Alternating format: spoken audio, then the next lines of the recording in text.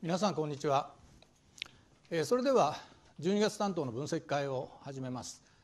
えー、企業法担当いたしますレクセン講師の森村です、えー、それではこのハンペラをご覧ください、えー、まあ、企業法の場合はちょっと難化しましたね。あとは全部前回と同じです。でもう一言で済んじゃうんですけども、え一応見ていきましょう。まず形式面ですけれども取材数はですね、え前回と同じ20問で配点は各5点ですね。えー、で問題詞が4詞選択肢が6詞という構成も前回と同じです。問題詞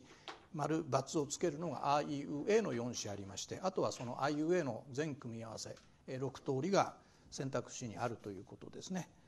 で次に問題文の表現ですけれども実質的には20問全て正しいものの組み合わせを問う問題でした。4子ありまして正しいものの組み合わせなので正しい足が2子で誤ってる足が2子っていうそういう形になってるわけですね。で例えばこの問題1正しいものの組み合わせとして適切なものを適切な番号を1つ選びなさいっていう、まあ、こういう形式になってます。ただまあ、えー、2問だけちょっと表現が変わってるものがありまして、えー、問題13を見ていただきますと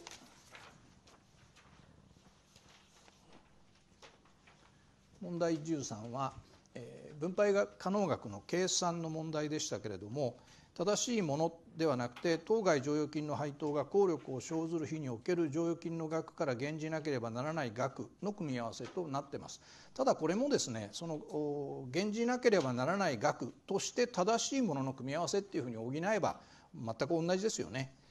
だからそんなに気にすることはないです。でもう一つついでに見ときますと問題14ですね。問題14は、えー、これはですね465条の問題ですよねちょっと待ってね問題14はそうですね465条の問題なんですけども、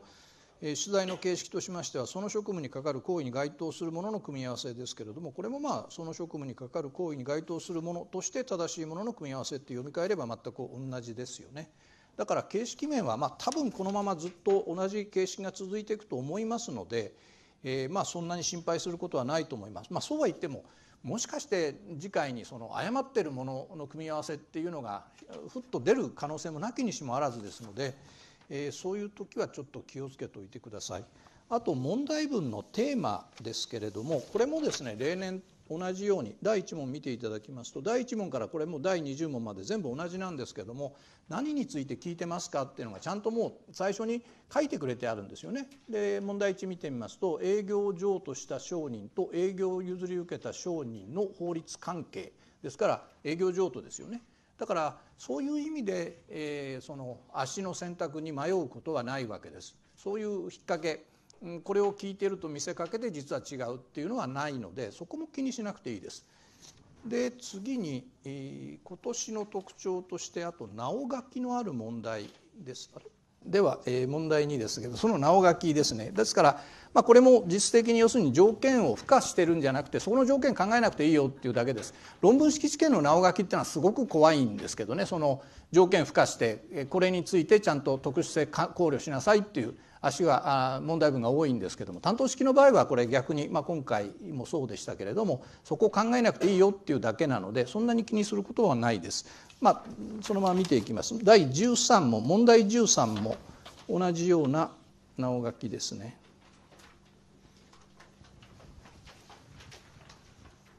なお当該株式会社の最終事業年度の末日末日後において臨時計算書類が作成されなかったものとするということなので問題はその最終の最終事業年度の貸借対照表を考えてもらえばいいっていうそれだけですよね。もう一つ問題18も同じです。吸収合併に関する問題ですけれどもなお書き吸収合併の当事会社はいずれも種類株式発行会社ではない株式会社であるものとする種類株式発行会社ですと種類株主の保護規定なんてのがあってややこしくなりますのでそこは考えなくていいですよっていう、えー、そういうような問題ですね。はい、で次出題内容なんですけれどもこれもまあ例年と変わりなくですね基本的に企業法というのは条文しか出ませんねですから、えー、条文なんですけども、まあ、判例が3紙だけ、えー、出てましたで、まあ、80紙全部ある中のですから判例が3紙であと77紙は全部単なる条文の損否を問う問題これも大体同じですよね。え、数年前に判例が11紙も出題されたことはありましたけども大体3紙か4紙ですでその必要な判例というのは大体どこの予備校でもちゃんとテキスト載ってたりしますし最新の判例についてはテキスト載ってないものは例えばレックですと担当ポイントアップ答練でちゃんとフォローしますのでその学習についても特に困難があるということはないと思います。でしかもですね判例というのはその条文の解釈ですけれどもその判例で考えるのか条文そのままで考えるのかっていうのは問題文にちゃんと書いてくれてます。これも例えば問題4で問題4の「う」の足ですね最高裁判所の判例によればって書いてます。で、まあ、判例の場合ですともう知識がないと全然そのそれが、えー、正誤の判定つかないわけですけども、まあ、有名な判例ですのでえー、これもそんなに難しい問題ではなかったと思います。でさらに問題6の絵。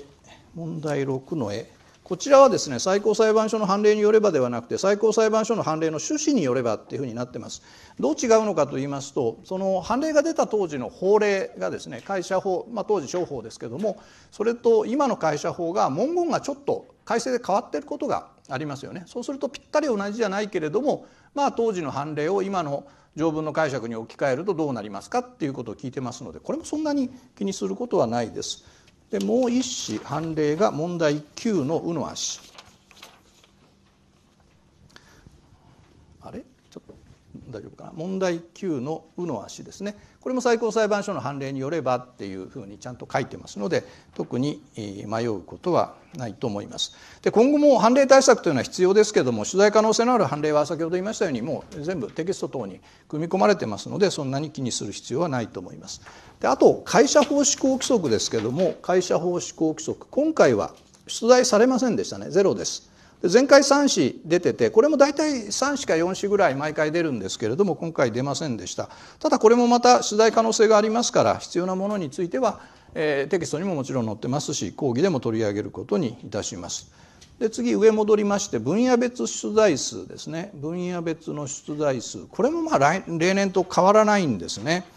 えー、商法から2問。で金融商品取引法から2問。残りが会社法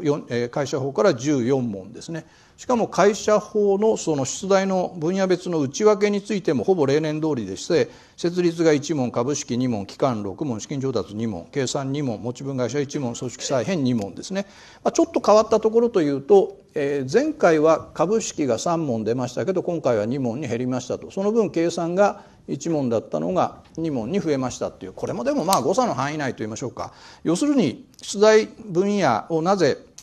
どこから出たのかを検討するかっていうとそれは分野別にもし傾聴があればここからよく出るここからは出ないっていうのがあればその重みをつける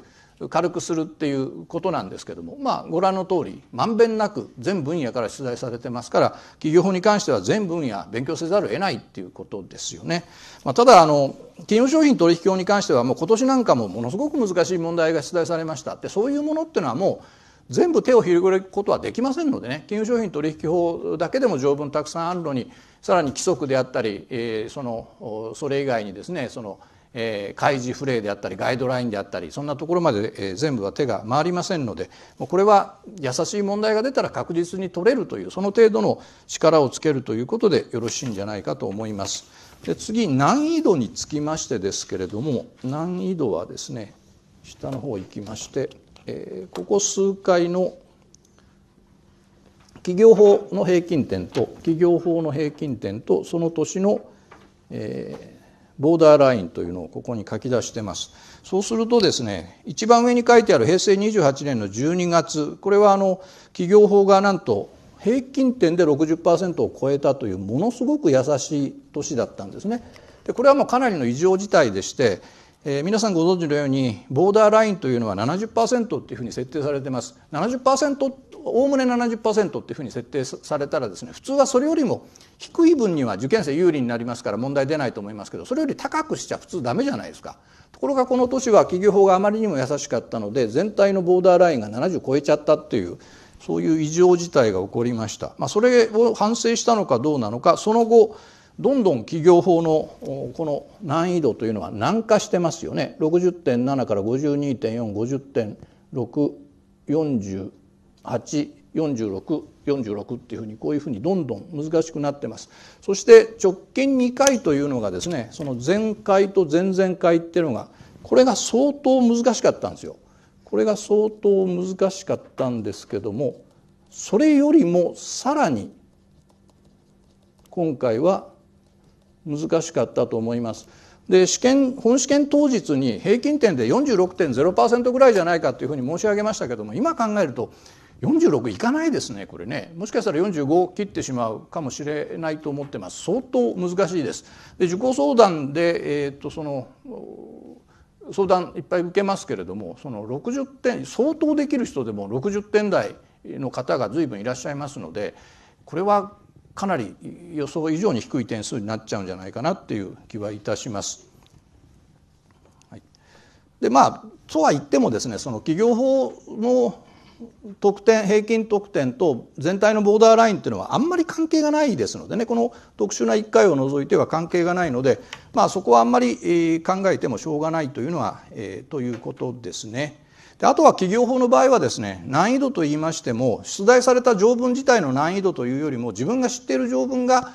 出ればそれは優しいと感じるでしょうし知らない条文が出たらですね難しいと感じるでしょうから結局はですね勉強する範囲をどこまで広げるかの問題なんですね。で以前はその条文の取材頻度を例えばまあ、まあ、富士山に例えますとですね8合目から上を勉強すればいいっていう感じだったんです。いわゆる他校でいう A 論点 B 論点という言われてるとこですよね。そうするとその8合目から上を勉強すると大体本試験でも80点ぐらい取れるかそれが可能だっていうそういう感じだったんですけどもここ3回ぐらいの難易度特に今回の難易度を考えますとこの1号を引き下げなきゃいけないと。7号目から上まで勉強しなきゃいけないっていう、まあ、感覚的な話ですけどそういうふうになりました。でたった1号じゃないかと思うかもしれませんけどそれっていうのは距離じゃなくて結局体積ですから。だからその例えば企業法の中で会社法でも条文1000条ぐらいあるじゃないですか。でしかもそれ条文の数っていうのはその項とか号とかに分かれますからそれ全部カウントしたら3000とか5000とかそれぐらいになっちゃうわけですよね。それを全部はできないですよね。だからかつてはその8合目から上のところを勉強するっていうことになってたわけですけどもそれをちょっとそのあんまり取材可能性がないだろうっていうところまで下げなきゃいけなくなってくるそうするとですね多分これ体感的に今後1.5倍ぐらいの勉強量にしないとそのなかなか80を自信持って取れるっていうような実力をつけることは難しいんじゃないかという気はいたします。でまあもちろんその全体のその合計点で合否が決まるわけですから企業法に割くことができる時間というのは他の科目との兼ね合いになりますけれどもちょっと次回、えー、5月担当に向けてはですねちょっと時間かかるかもしれないなっていうようなそういう覚悟は持っていただきたいというふうに思います。ではどうやって勉強するかということですけども基本的には、え、お使いの担当式のテキストとあとレクで出ている一問一答だけでえーまあ、それで70点ぐらいまではいけるとは思うんですよね。きっちりやれば。たださらに穴をなくしたいのであればそのやっぱり6歩を読み込むとかですねそういう嫌な作業ですよね。あるいはレックでは築城解説というその条文というのはずっとそれを条文6歩で読んでいくのは無味乾燥でなかなか耐えられないですからやっぱり解説が書いてあった方が分かりやすいということでえー、上下2巻になってますけれども築城解説というのが条文書いて趣旨書いて条文書いて趣旨書いて解説書いてっていうのがありますので、えーまあ、それをぜひお使いいただきたいと思います。これはあの論文式試験にもずっと使えますので、えー、辞書的に使うっていう意味でも非常にいいものだと思います。以上まとめますと企業法に関しましては出題形式分野別出題数に大きな変化がなく難易度は難化傾向にあるということですね従いまして2020年5月担当に対する対策としても客観面としては基本的には従来通りでいいけれども時間が許す限り例えばその講義ですとその講義でマークした以外の部分もやっぱり、えー、そのできるだけ手は広げてほしいなっていう感じはあります。それでは残りの時間で、えー、大手さんのですね、えー、とそのデータリサーチに従った、え、っとあそれとあそうですね大手さんのデータリサーチに従って難しかった要するに正答率の低かった問題についてちょっと解説していきましょう。では問題5を見てください。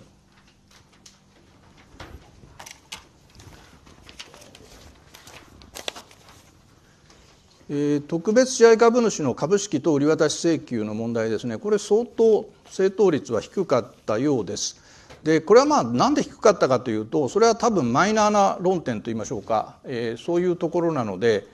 え、しかも平成26年の改正で加わったものですから、え、手薄な方が多かったっていうだけじゃないかと思いますこれレックではですねポイントアップ答練という、まあ、答練で一問丸ごと特別支配株主について聞いてますしあと公開模試でも2市2足出題してますのでレックの答練受けてた方は正解できたんじゃないかと思います。まああの足ですけれどもこれはまあ、えーと、特別支配株主が売り渡し株主売り渡し株式を取得するときに売り渡し株主に対して交付する当該売り渡し株式の対価は金銭に限られないかこれはですね要するにこれはどういう制度なのかっていうと単なる売買契約なんですよね。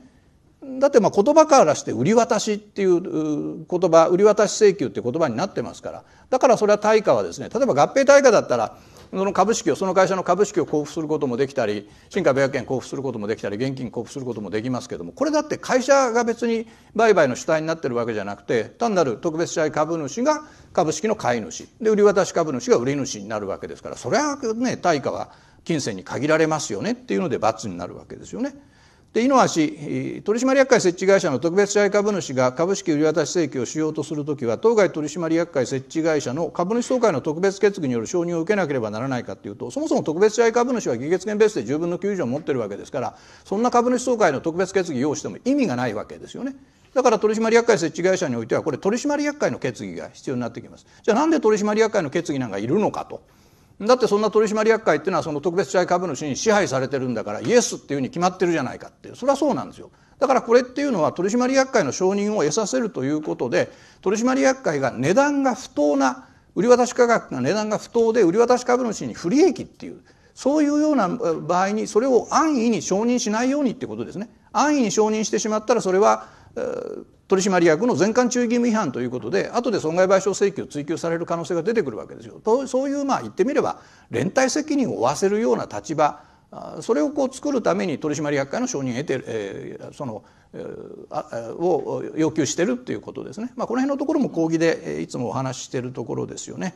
であと「うの足」えー差し止め請求ができるかっていう問題なんですけどもこれさっき言いました株主総会決議がないっていうことと関連してくるんですね。株主総会決議がありませんので決議取り消しの訴えとか決議無効確認の訴えの対象にならないわけですよ。そこでじゃあ売り渡し株主をどうやって保護するかって言ったらまあ差し止め請求を置いとくしかないですねっていうことですよね。でさらに A の足としまして、え、その訴えをもってのみ主張することができるのかと無効無効についてですね。でこれはもう多数の利害関係者が関わってきますので会社の組織法上の行為ではないですけれどもやはり確実的確定の要請が必要になってくるというのでそこでこれは訴えをもってのみ主張することができるというふうにされていますということですね。だからまあ制度趣旨をしっかり理解しておけばそんなに難しい問題じゃなかったんじゃないかと思います。次問題8を見ていきましょう。これ「あの足」だけ見て見ておきましょう。問題8は株主総会株主総会の決議に関する問題ですねあの足株式会社は定款で定めることにより株主総会の普通決議の要件を出席した株主の議決権の過半数より引き下げることができるさあこの問題、えー、とその本試験当日解き直しをしててですね回答出しをしててえっていうちょっとびっくりした条文なんですね。というのは普通決議の要件というのは309条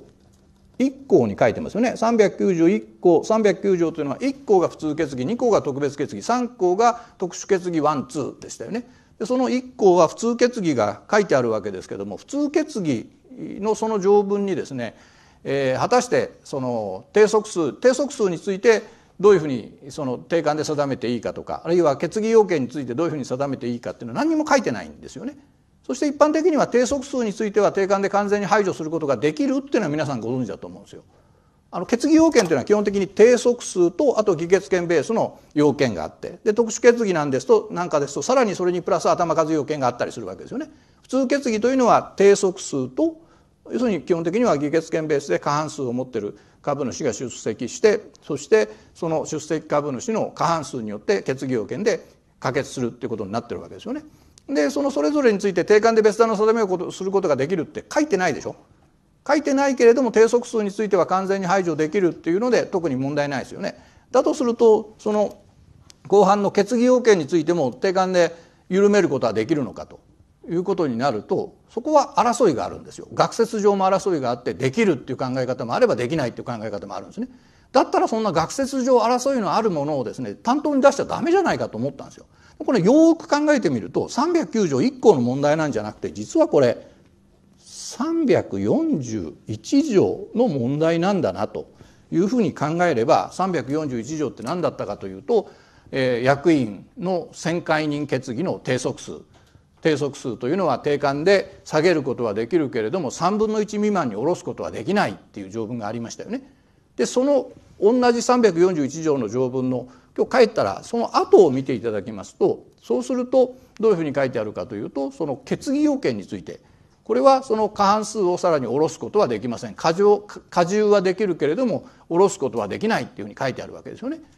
てことはそのような341条もこれ普通決議なんです。普通決議の督促なんですよ。だからその普通決議についてこの「あ」の足に書いてあるように無条件に出席した株主の議決権の過半数より引き下げることができるっていうふうに書いてあったら例外が一つでもあれば×ですからその341条の例外があるからこの足は×ってことになるわけですよね。えという問題でした。ではもうちょっといきましょう。次は問題9。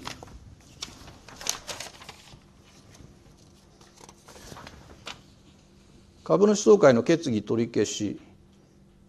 の問題ですね。えー、で「あ」の足を見ていきますと株主が株主総会等の決議の取り消しの訴えを提起し被告である株式会社が当該当該株主に相当の担保を立てさせることを裁判所に申し立てた場合こういうことを申し立てられるっていうのはありましたよね要するに株主って言っても総会屋みたいな株主がいて乱用的な行使をしてくる恐れがあるのでそういう時にはまあ、負け逃げ防止っていうかそういう規定を置いておくことによって萎縮的な効果をもたらすということでこういう担保提供義務を課せる課すことができるっていうのがありました。ところが当該株主が当該株式会社の執行役である時これはお役目で要するに提訴権者の株主等の中に取締役とか執行役が入ってるわけですよね。で執行役っていうのはこれお役目でやってるわけですから職務でやってるわけですから乱用的行使をされる場合は可能性は小さいだろうということなのでそこでこの場合には裁判所は担保の提供を命ずることはできないっていう条文があるわけですよね。はい、で「い」の足株主総会の決議の内容が定款に違反することは当該決議の取り消し自由に該当するこれ丸ですよね。これ私よく講義で昔はこれ無効自由だったんですよっていう話をしてるんですよ。これ実は昭和56年の改正前までは無あの無効自由だったんですけどもそれがワンランク、えー、扱いが軽くなりまして取り消し自由になってますということで、まあ、そういう話を覚えておいてもらえば簡単に丸をつけることができたんじゃないかと思います。そして宇野足最高裁判所の判例によれば議案を否決する株主総会の決議について当該決議の取り消しを請求する訴えは適法である。これそもそも取り消すべき決議がないんですから取り消しの訴えの対象になりませんよね。これも講義でよくお話ししているところです。で最後 A の足。全部取得条項付き種類株式の取得が行われた場合に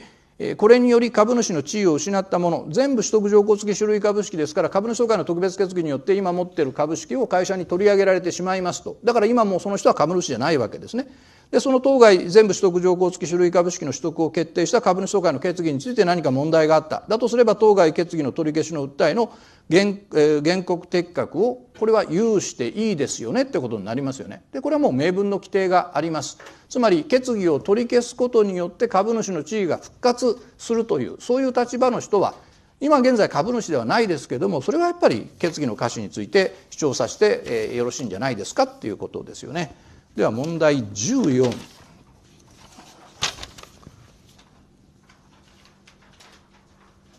れはもう条文ちょっとややこしいので書いちゃってますけども。465条の問題ですね、えー、代表取締えっ、と配当した時は分配可能額の範囲内だったんだけども、えー、その後にですねまあ、読んでおきましょうか株式会社がその財産を株主に交付しその交付した日が属する事業年度にかかる定時株主総会で承認された決算書類に欠損が生じた場合にその交付に関する職務を行った代表取締役が当該欠損額を支払う義務を負うことがあると。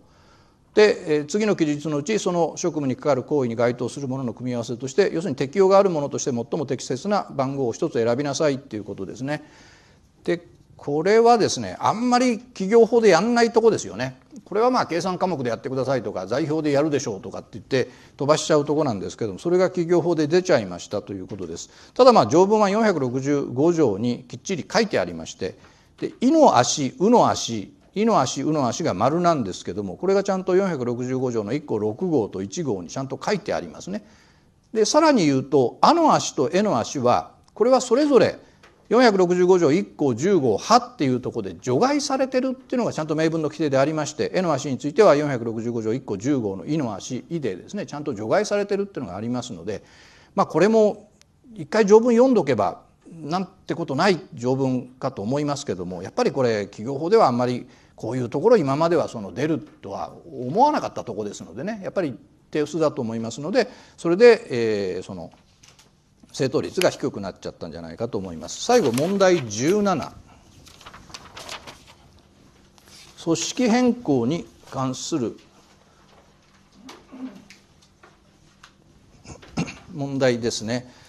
で、えー、あの足は特に問題ないと思います。あの足っていうのは持ち分会社、えっと、これ組織変更ですから株式会社が持ち分会社になったり持ち分会社が株式会社になるということなので一大事ですよね。一大事なので基本的に総株主の同意総社員の同意が必要ですただし持ち分会社の場合には定款自治というものが幅広く認められてますから定款でいやうちは3分の2でいいことにしようっていうふうに決めればそっちが優先しますよっていうのがあの足ですね。で「い」の足株式会社が組織変更する場合には反対株主は当該株式会社に対し自己の有する株式を公正な価格で買い取ることを請求することができるか反対株主の株式買取請求権が認められてるかこれ一大事ですから認められて良さそうに見えるじゃないですか。ところがこれも事業で何度もお話してますけどもそもそも総株主の同意が必要なんだから反対株主なんていないわけですよ。一人でも反対したらだって組織変更できないわけですからねだとすれば「あのい」の足は×ということになります。うの足組織変更する株式会社は組織変更計画備え置き開始日から組織変更がその効力を生ずる日後6か月を経過するまでの経過する日までの間法定の事項を記載しまたは記録した書面または電磁的記録をその本店に備え置かなければならないなんとなく良さそうなんだけれどもこれっていうのもこれも講義で何度もお話してますけども持ち分会社にはそもそも備え置き制度がないですよね。で株式会社が組織変更しちゃったってことは効力発生日後もうその会社は株式会社ではなくて持ち分会社に変わってるわけですよ。そうすると持ち分会社に備え置き制度がない以上えー、問題文のこの、えー、56か月を経過するまでの間っていうここがここが間違ってることになるわけですよね。56か月を経過する日この間は備え置きしなくてもういいですよと効力発生日まででいいですよっていうことになるわけですよね。はいいかがでしたでしょうか。えー、ということで企業法はまあこれで、えー、終わりたいと思います。はい、ではえー、この後は次は管理でしたっけ？はい。ではよろしくお願いします。はい、えー、それではですね分析会の管理会計論ですね始めていきたいと思います。担当アレックス専任講師二宮です。よろしくお願いします。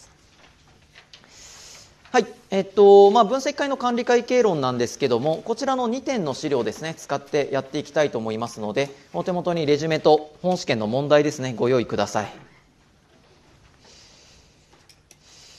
はい。えーまあ、今回ねかなり管理会計についてはまあ難しいと、まあ、昨年の12月からそうですけれども、まあ、かなりの高難易度の試験問題が出ているということで、まあ、あの時間的にね相当シビアな戦いをあの求められたのかなと思いますのであのここにねご参加いただいている方であんまりあの多くの方はねいい点数取れなかったのではないのかなと思うんですけど、まあ、私も本試験後ですねあの何人かとあの話をしましてあの一番よくできている人でまあ70点ぐらいの人が1人いたと。でほとんどの方は大体まあ40点とか50点とかあのもう全然解いてないという方もねあのたくさんいらっしゃいましてあのかなりね今回の本試験がそれほど難しかったんだなというのを物語っているんだと思いましたけれどもあのまあ、公表の時にもですねあの申し上げたんですけれども、まあ、今回の試験は大体まあ50点ぐらいっていうのが、まあ、素点でのボーダーラインということになります。まあ、半分ぐらい取れていれば、まあ、合格ラインには乗っかってくるだろうという、まあ、そういった見積もりをしています。はいでまあ、この傾向はですね去年の12月から続いていましてあの約半分ぐらいの点数を取っていけばですね、まあ、合格基準点を満たすことができるというところで、まあ、あの絶対的な、ね、数値で見るとそんなに高くはないはずなんですけど、まあ、今の本試験の、ね、問題を見る限りだと50点取るのが相当、ね、あのシビアなところがあるのかなと思います。でまあ、次に向けた、ね、対策っていうところをちょっとこのあの30分の中でお話しできればなと考えています。はいでまずちょっとレジュメの1ページ目ですね。開いていただきまして。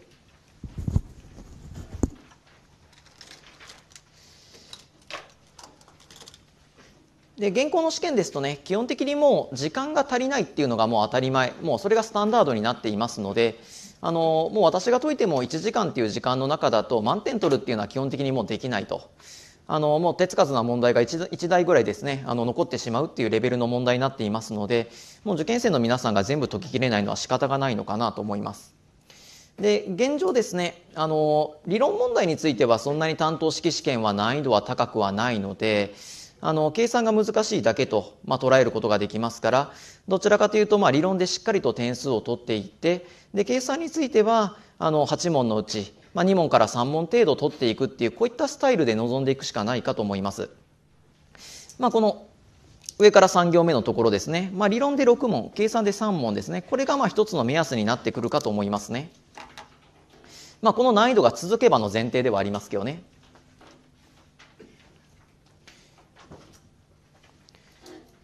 まあ、理論8問のうち6問ですね取れればこれで30点ですね。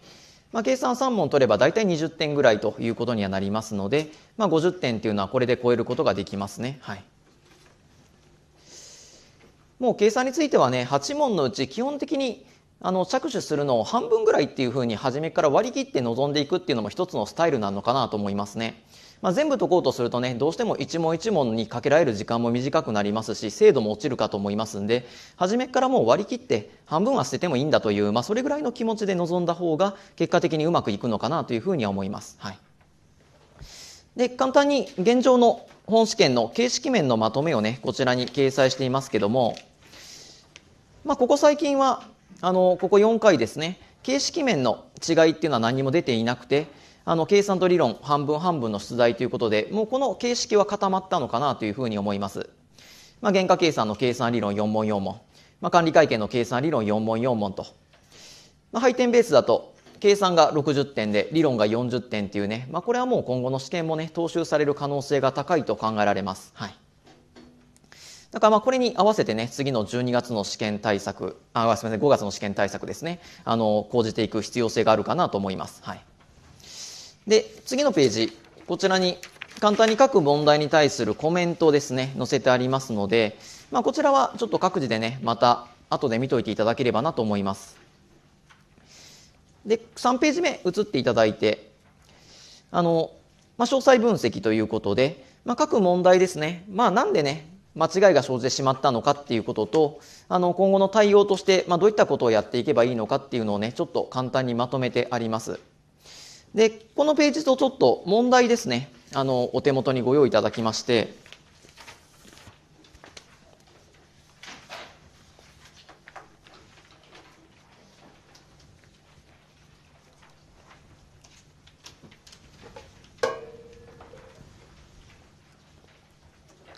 まあ、問題1ですね。あの、原価計算基準からの出題ですけど、あの、ここ最近ね、結構問題1が難しいですね。まあ、割と基準のあの前半部分がね問題1で問われるっていう傾向が続いていますので、まあ、前半部分って割と抽象的じゃないですか、まあ、原価計算の目的とか原価とは何かとかですね。割とあの難しくねするのが簡単な論点といいますか、あの今回もかなり細かい内容が問われていますね。これはあの間違えてしまってもしょうがないかと思うんですけども、まあ、対応するためにはですね基本的にはもう原価計算基準のあの原文を読んでおくっていうのが対策としては必要かなっていうふうに思います。特に選択肢の「あ」なんかはこれはもう原文読んでないと対応しようがないかなと思いますね。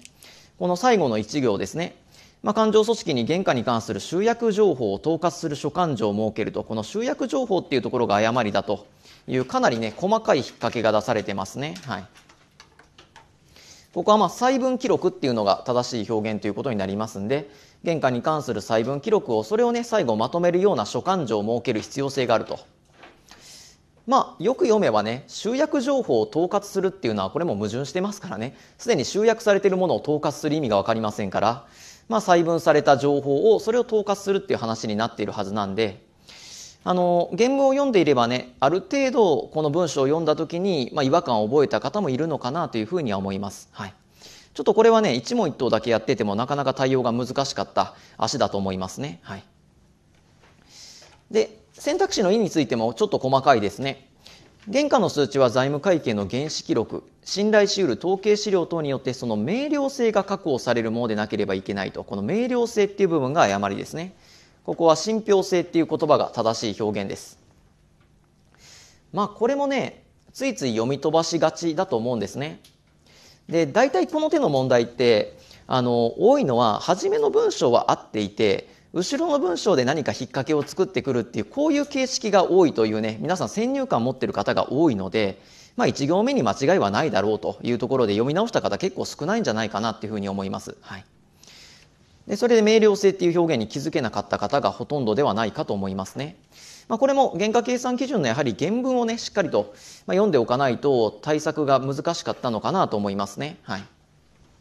だから次のちょっと5月向けの上級講座ですね、もうすぐ始まりますけれども、そちらの方でね、あの、また原価計算理論の対策っていうのは私の方でやっていくんですけれども、あの、その時にちょっと原価計算基準の穴埋め問題集みたいなものもご提供しようかなと思っていますので、あの、まあ、そういったものを使いながらですね、ぜひ次の5月に向けた対策っていうのを取っていただければなと思います。やっぱり問題1はね、あの、これ気持ちよく正解したいじゃないですか。初めの問題ですから、ここでね、気持ちよく正解することができれば、滑り出しがね、かなりいいので、その後の計算のパフォーマンスとかも変わってくるかと思いますんで、問題1っていうのはね、これ単に5点の問題にはなっていますけども、実際には5点以上の価値がある問題なのではないかなと思っていますので、ぜひね、次の5月では問題1取れるようにですね、ちょっと原価計算の理論を仕上げていっていただければなと思います。はい。で、先にちょっと原価計算理論だけバッと見たいと思いますけど、次の問題3。これはね、確実に正解しなければいけない問題ですね。まあ、これはね、ちょっと間違えてしまった方は、単純に学習量が足りていないと考えることができます。まあ、かなり簡単な選択肢になっているので、絶対に間違いが許されない問題ですね。まあ、選択肢の「い」と選択肢の「え」が誤りなんですけども、「い」については、これは基準の34番からの出題で、まあ、製品に付加すべき直接労務費と製造間接費を分離することが難しい場合、まあ、これを加工費として捉えていくと。直接労務費として捉えていくわけではないですね、はい、製造間接費をね直接労務費として捉えようがありませんから。よくよく読んでみたらね当然間違いだってことに気づけるかと思います、はい、また選択肢の絵についてこれもおなじみの選択肢ですね。過去にもう何回も何回もねこれに似た足っていうのは出されていてまあ、個別原価計算っていうのは製品以外のものに対しても適用することができるかできないかっていうこういう選択肢ですね。もう過去問とかね、やってた方であれば即座に判断することができたかと思います。この原価を算定しないっていうところが誤りですね。まあ、算定することができるというのが正しい表現です。まあ、これは絶対合わせてほしい問題でした。で、次の問題5ですね、問題5。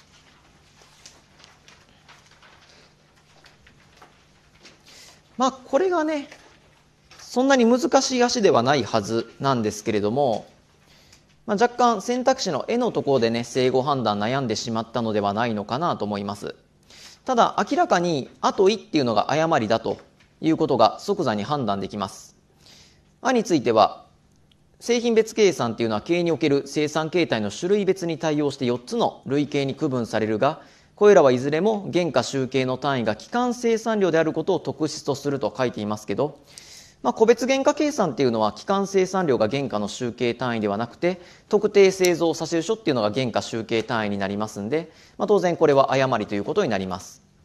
まあ、これも過去にね、全く同じ足は出ていませんけども、個別原価計算と総合原価計算の、まあ、原価の集計単位の違いについて問うような問題は過去に何度も出されていますので、まあ、それを見たことある方であれば即座に判断できた足だと思います。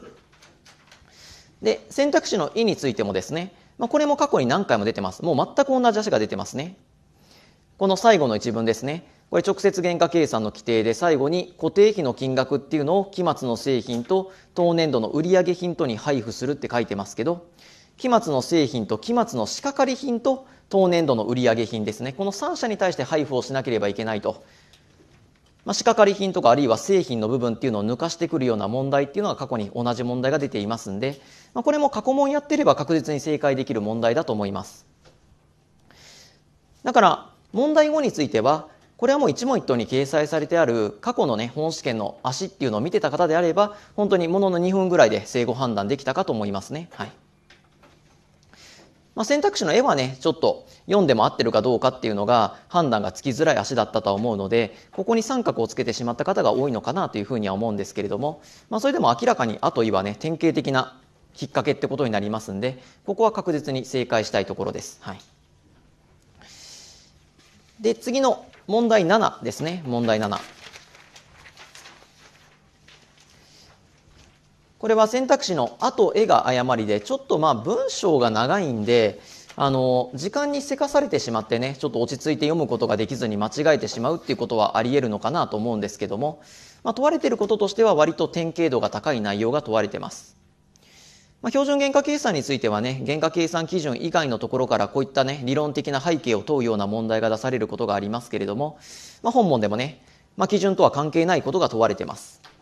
で、選択肢の和は、これはインプット法について問われていまして、インプット法っていう原価債を把握するタイミングですね。原価財を投入するタイミングで原価債を把握していこうっていうのがインプット法です。で、この方法によると、債をすぐに把握して分析することができるとともに計算事務量を節約できるって書いてますけどこの計算事務負担っていうのはむしろ増えますんで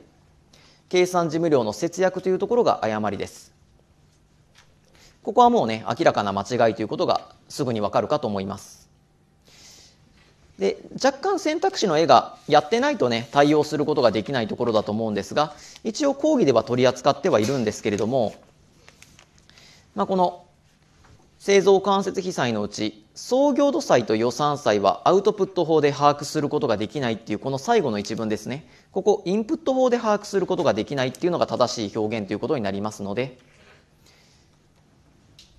まあ、このインプット法アウトプット法割とねこの論点についてはイメージがつかないということで苦手とされている方が多いところではあるんですけども本当にこういうね典型度が比較的高いところについては穴がない勉強をしておかないと安定した点数っていうのを稼ぐことができませんのであの今回ここ間違えてしまった方はですね今一度この部分の理論の見直しをねしてもらえればなと思います。はい、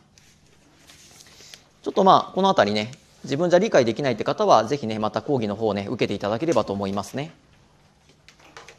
で今回の問題ですと、まあ、4問ね今原価計算理論を見てきましたけど、まあ、基本的に4分の3は取らないと、まあ、厳しい結果になってしまうのかなと思います。問題1以外のものはね比較的典型度は高いものになりますのでここはなんとか対応してほしかったと、はい。まあ、そういうふうに思います。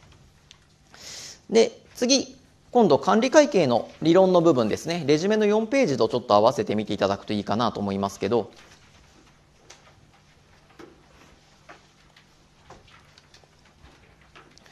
管理会計の理論ですね。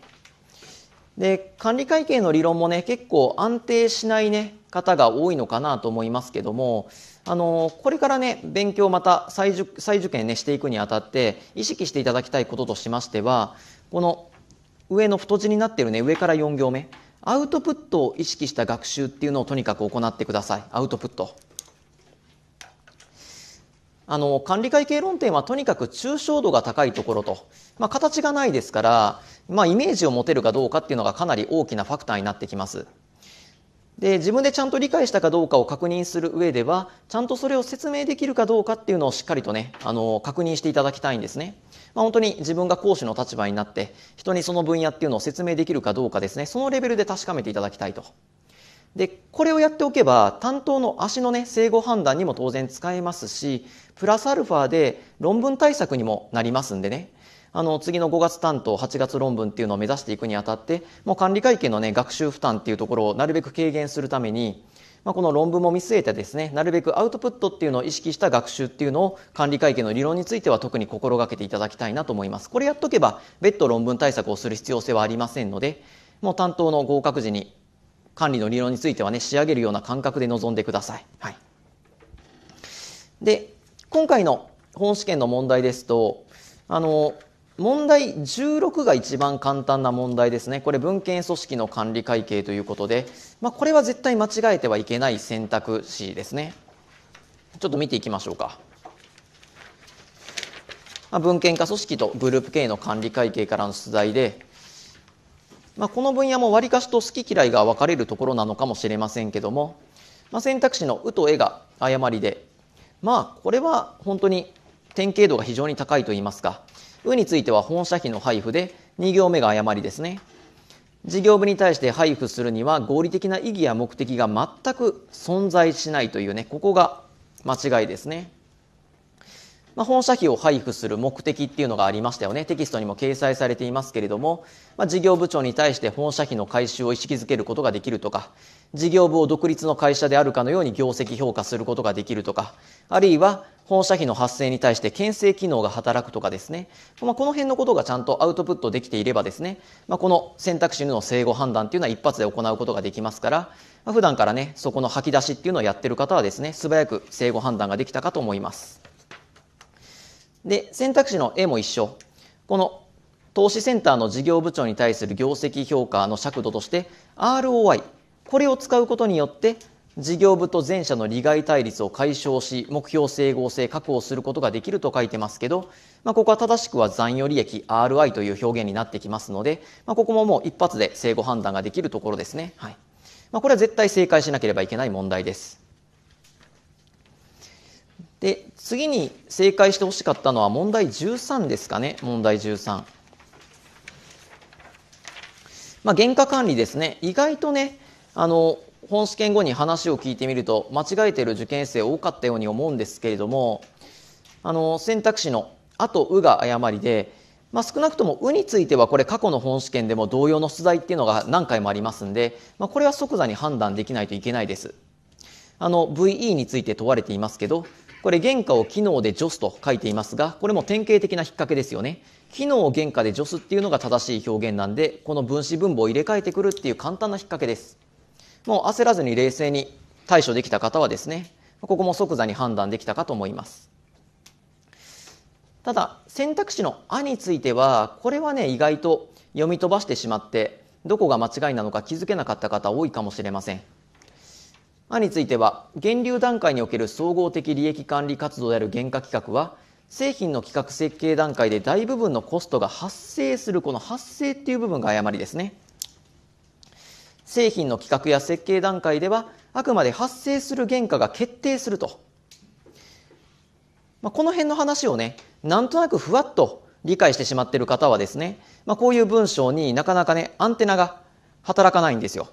まあ、どこが間違いなのかっていうところに気づきづらいんですけども、その原価の発生曲線と原価の決定曲線に関して、しっかりと理解されてきていた方であれば、まあ、この辺りに引っ掛けがあるなっていうふうに注意深く読むことができたはずですので、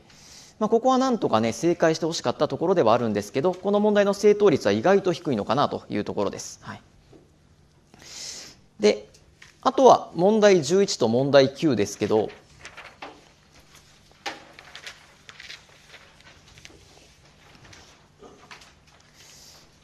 まあ、問題11の選択肢の「い」はこれは簡単ですね。あの最後の文章企業予算のすべてに対しゼロベース予算を適用するべきとまあ大体すべてに対してとかっていう表現が出てくればねもう十中八九間違いと判断することはできるかと思いますのであのこれはね怪しいなっていうふうに気づけた方が多いと思います。まあ、当然マネージドコストに対してゼロベース予算っていうのを適用するべきでコミッテッドコストに対して適用しても意味はありませんから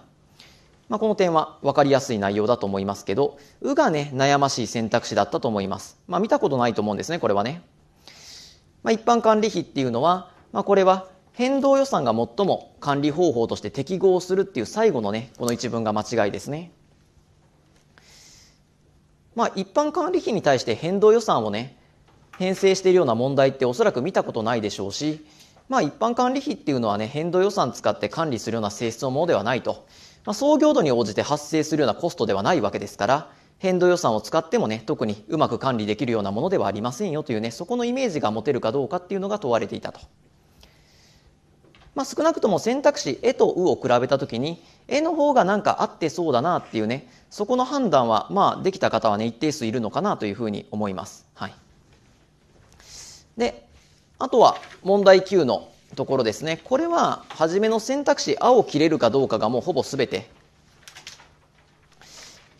一応上級の講義では軽く触れたところではあったんですけども覚えてた方は正誤判断ができたのかなというところでこの選択肢の「あ」ですねこの PPM が問われていて市場成長率と自社の絶対的マーケットシェアっていう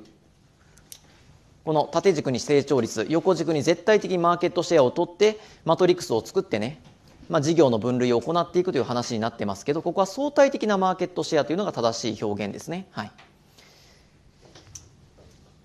で次の選択肢これは管理可能性について問われていて、まあ、この業績測定期間が短ければ短いほど特定の経営管理者に対とって管理可能費は多くなりますよっていうここの表現が誤りですね。はいまあ、長ければ長いほどっていうのが正しい表現です。はいだからまあ、いは簡単なんでね、あの正誤判断ができるかどうかっていうところが問題9についてはほぼ全てだったのではないのかなと思います。まあ、これは単なる知識問題なんで、まあ、知らなかった対応は難しいかと思いますね。はい。ただまあ、なんとかね、この管理会計の理論4問のうちね、最低限2問は死守しなければいけない。できれば3問取ってほしかったかなというところです。はい。まあ、簡単ではありますけど、以上が理論に関する話で、で、次、計算なんですけども、レジュメの5ページですね。ちょっともう計算問題はね、解説を加えることはできませんので、また各自でね、あのウェブに上がっている解説動画などを見て復習してもらえればなと思うんですけども、まあ、今後、管理会計論の計算対策をやっていくにあたってどうすればいいのというところで、あのなかなかね、私もこの1週間考えてみてですね、何をやったら、あの例えば70点とかですね、それぐらいの点数取れるのかなっていうところをちょっと考えたんですけど、やはりまあ現行の試験だとどうしてもそこの安定感を出すっていうのが計算については難しいのかなと。ただこっちの原価計算の論点については比較的問題のパターンっていうのはもう決まってると。そんなにねなんか木をてらったような問題が出てくる余地はないので何かしらどっかで見たことがあるような内容っていうのが少なくとも問われていると、まあ、知らないことが問われることはまずないわけですよ絶対まあ皆さんの頭の引き出しの中には、まあ、計算のやり方とかっていうのはね絶対頭に入っていてただまあ形式が違うんでちょっと時間がかかってしまうというだけですねでこの原価計算のね、計算対策をしていくには、やはりこの問題集の反復演習ですね。まあ、これが効果的です。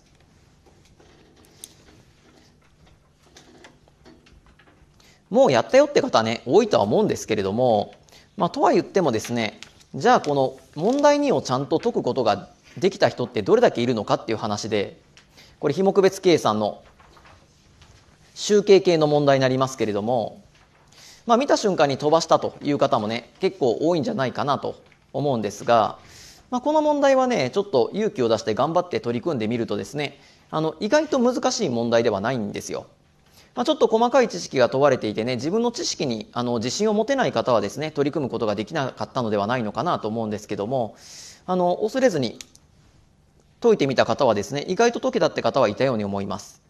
これ資料の括弧5番のところここがちょっと細かいんですけどもこの製品 T 製造のための機械の原価償却費ですね。これまあ製造間接費の金額をね、選択肢のあでは集計させる問題が出ていますけれども、まあ、これについてはね、これ直接経費になりますんで、もう原価償却費っていう言葉を見た瞬間に間接経費だっていうふうに飛びついてしまった方はですね、これまあ間違えてしまうことになるんですけども、ただまあ幸いですね、この問題これ間違えて集計してもですね、選択肢の「あ」っていうのはその間違えて集計した計算結果にはなっていないんでそこはちょっと親切設計なんですよ。だからそこでちょっと金額的に明らかにこの選択肢と大きく離れているからなんかおかしいところなかったかなっていうふうに冷静に対処できた方はですねあのこの問題はなんとか正解することができたのかなというふうには思います。で少なくともこの「あ」と「い」はね、まあ、区別がつかなかったとしてもこの選択肢の「う」と「え」は簡単ですからね「う」についてはこれ2箇所集計すれば終わりですからこの機械の減価償却費と共用機械の修繕費の合計っていうのはこれも集計したら終わりですからね。資料6番7番集計して終わりです。で選択肢の絵についても資料10番から資料12番までの、まあ、こちらの資料を使ってあげれば創業度債っていうのは簡単に求めることができるんで少なくともね選択肢の絵のね正誤判断なんかはこれは本当にもののあの30秒もあれば終わる話になりますんであの6個の選択肢の中からですね勘で答えていくよりは「絵の足は少なくとも間違いだ」あるいは「う」の足もね少なくとも間違いだっていう判断ができればですねあのあ「う」はちょっと間違いかどうか分かりませんけどもあの少なくとも「う」と「え」の正誤判断ができますんであの選択肢をかなり絞り込むことができるのかなと思います。はい、だからこの辺りはですねあのちょっと細かいところまで知識がちゃんとね入ってるとまあ、自信を持って臨めた方はですね、正解することができたという問題です。これはもう問題集の反復演習をしてね、あとはこういう集計系の問題っていうのを解いていけば、まあ、こういった形式にも慣れてくるのかなと思います。また多分どっかのタイミングでこういう集計させる問題は出てくると思いますね。過去の本試験でも何回も集計系の問題は出ていますから、まあ、今後もこういった問題に対する対策っていうのは取った方がいいかと思いますね。で、次の問題4なんかはね、これは確実に正解できる問題ですね。テキストの説例レベルの問題ということになりますので、まあ、これなんか絶対合わせないといけない問題ということになります。まあ、これできないって方はいないと思いますんでね、ここはもうね、ほとんどの方ができていることかと思います。で、問題6。これはちょっとね、パッと見がもう嫌な問題なんで、あの、落ち着いてね、やっていけば単に幻想の安定発生が問われてるだけなんで、そんなに難易度が高い問題ではないんですけど、もう資料の与えられ方が明らかにね、これ読み取るのに時間がかかるなっていうのが見たらわかりますんで、実践的には解く必要性が全くない問題です。これがまあできなくてもね、特に差し支えはないと思ってください。ただ、あの、今後ですね、復習される際に、幻想の安定発生っていうのは切ってる方もいると思うんですけど、ぜひね、ちょっと見直してください。あの、直近の論文式の試験でも幻想の安定発生出てるんですよ。まあ、これまで論文の試験では出されていなかったんですけどもあの論文で出たからにはですねあの多くの受験生が今後は対策を取ってくるでしょうからもう C ランク論点とも言えないのかなと思いますんでちょっとまあ B ランク論点ぐらいの位置づけで考えてください。はい、であと問題8これはね着手した方が多いと思います。平成25年の第2回の本試験の類題になりますんでほとんど同じ形式の問題です。なんか見覚えがあるなって方いたんじゃないかなと思いますけれどもあの選択肢のね1番が正解だったっていうところがちょっとね難しい要素だったと思うんですけども大体この手の問題って4番とか5番が正解ですからね、まあ、1番だからちょっと選びづらいっていうのはあったかもしれませんけどなんとかこれは対応してほしいところかなと。だから原価計算の分野は少なくとも4と8はなんとかやれなくはないのかなというところです。はい。まあ、この2問は問題集の精度をね、しっかりと高めていけば、あの、確実に正解できるようになっていきますんで、まだね、ちょっと演習量が間違えてしまった方は足りないんだと思ってください。で、一方の管理会計分野なんですけど、レジュメの6ページ。これはね、もうどういう形式で出てくるのかっていうのが読めないです、正直。あの、作問者の色がもろに出てくるところとなりますので、もういろんな形式でね、問うことができるところですから、もう万全の体制で何が出てきても絶対に取れるっていう状態にはまずならないと、そう考えてもらった方がいいかと思います。だからまあちょっと誤解を恐れずに言うと、もう管理会計の分野については、あまりその得点できることを当てにせずに、本試験に臨むぐらいの感覚の方がいいのかなと思います。原価計算でしっかりと時間かけてね、そこを確実に合わせに行って、まあ、あわよくば時間が余ったら管理会計の分野で簡単なものを拾えるようにしておくと。まあ、それぐらいのね、感覚で今後の対策を取っていただくのが、まあ、この試験の傾向が続くのであればいいのかなと。まあ、例えばこの問題10の CVP 分析なんか、まさにその最たる例ではあるんですけども、あの、論点的に知らない方はいないと思うんですよ。ただまあ、形式がね、こういういろいろ推定しなければいけないというところで、まあ、これもね、自分のその知識に自信がない方はですね、なかなか一回答え出なかった時に、そこからですね、再計算して答えを導いていくっていうのができないかと思いますんで、あの、なるべくね、その知識のね、正確性っていうのを高めていく必要性があるのかなと思いますけど、例えばまあこれいろんな解き方あると思いますけども、まあ、この損益分岐点比率が87.5%で、まあ、ここから安全余裕率っていうのを出して、安全有率っていうのが求まったら経営レバレッジっていうのを逆数で計算することができると。まあそういったところをですね、パッと思いついて計算できるかどうかっていうのは、なかなか身につくような話ではありませんので、まあこの問題は、あの、見た目は簡単なんですけども、実践的にはかなりね、難しい問題なのかなと思います。ただまあ、その後のね、結構意見を聞いてみると、案外取ってる方もいたところではありますので、まあ臨機応変に対応できた方も、まあ一定数いるというところではありますね。で、まあ、こういったものに対処していくためには何をやったらいいのかっていうのは難しいんですけど、とにかくこれは論点の理解を深めると。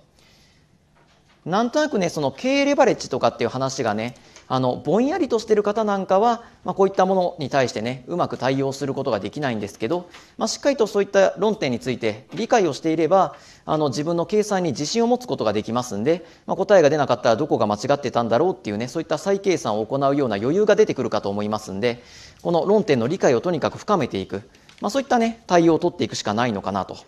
もう他の問題も同じです。問題12も14も15も同じですね。まあ、今回この3つの問題どれも解けないのかなと思いますけど、まあ、本試験特有の問題って感じですね。問題12とか14っていうのは。キャッシュロー計算書を作らせる問題とかですね。まあ、あるいはこれ問題14も業務的意思決定の問題になりますけれども、まあ、何を解いたいのかよくわからないと言いますか、まあ、ものすごく不純物が混じった問題なんですよね。何のためにこんな計算をさせるんだろうっていうそういった問題になっているので予備校の答練だとねなかなかこういった問題っていうのは見ないと思います。まあ、こういう問題ってあんまり復習してもね学習効果っていうのがないので他の問題のそういった回答能力が上がるような問題ではありませんので予備校の答練的にはねちょっと出しづらい問題ということもあってほとんどの方がね、まあ、こういった問題に対してはあの初見で対応することになったのかなと思いますけど、まあ、こういったものはもうね気にする必要性はないのかなと思います。まあ、こういったちょっと埋没問題もね、本試験では管理会計問われるんだというぐらいにも割り切ってしまってください。はい。で、最後の問題の15もね、見たことない方多い多かったと思うんですけども、まあ、過去に日照簿記1級で出題されたリースか購入かの意思決定の問題で、まあ、誰も知らないところだったのかなと思いますんで、また今後のね、あの、対策として問題集とか答例の中に織り込んでいきたいと思いますので、そこで改めてね、あの、勉強の方を進めていただくといいのかなと思います。はい。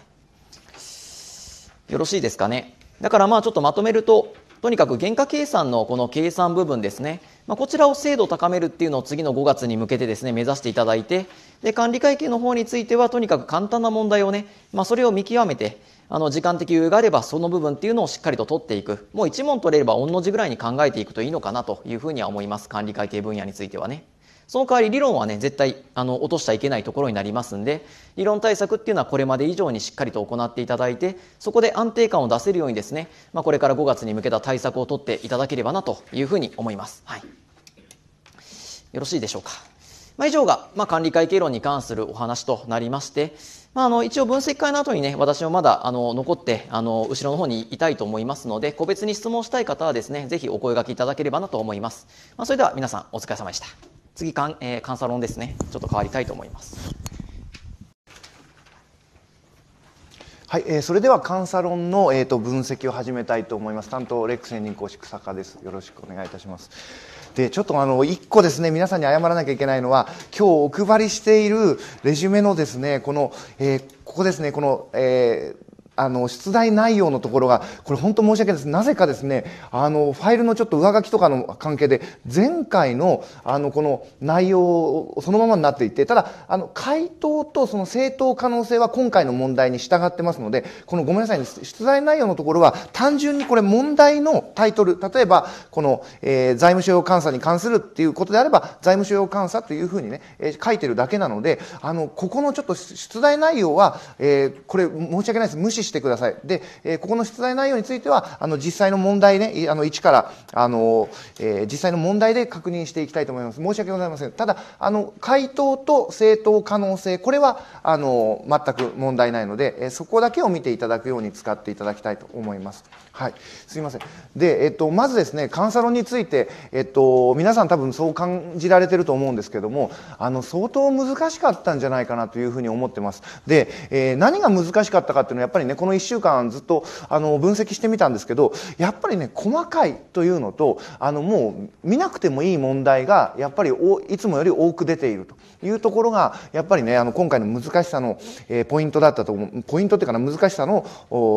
理由だったと思うんですね。で、えっと、まあ、今日これ分析が30分しかないんですけども、まあ、極力、あの、どういうふうなところを取れて、えー、どこはもう無視していいのかっていうことをね、ざっとやっていきたいと思うんですけども、あの、えー、まあ、そその中で、えっと、この、えー、正当可能性、まあ、高いとか中程度とかっていうことを考慮して、まあ、正当可能性が一応高い問題は9問。で中程度が7問。で低いが4問としてこれはレックの、ね、講師陣で話話し合った中での正当可能性でこれだと、えー、換算するとですね、えー、我々の換算すると、まあ、12問。これちょっと多いと思います。11問で、え、合格ライン十分載ってると思いますが、えー、12問取れてれば合格者の中でも上の方に行ってる。かなり今回は団子だと思うのでえー、55点60点の合格者の方があかなり多いんじゃないかなというふうに思ってます。だからってじゃあ50点だと落ちるかというとそんなことなくてね。あのそれは他の科目との兼ね合いだと思いますが、えー、まあ、その辺のラインだと思います。で、えー、私個人的に、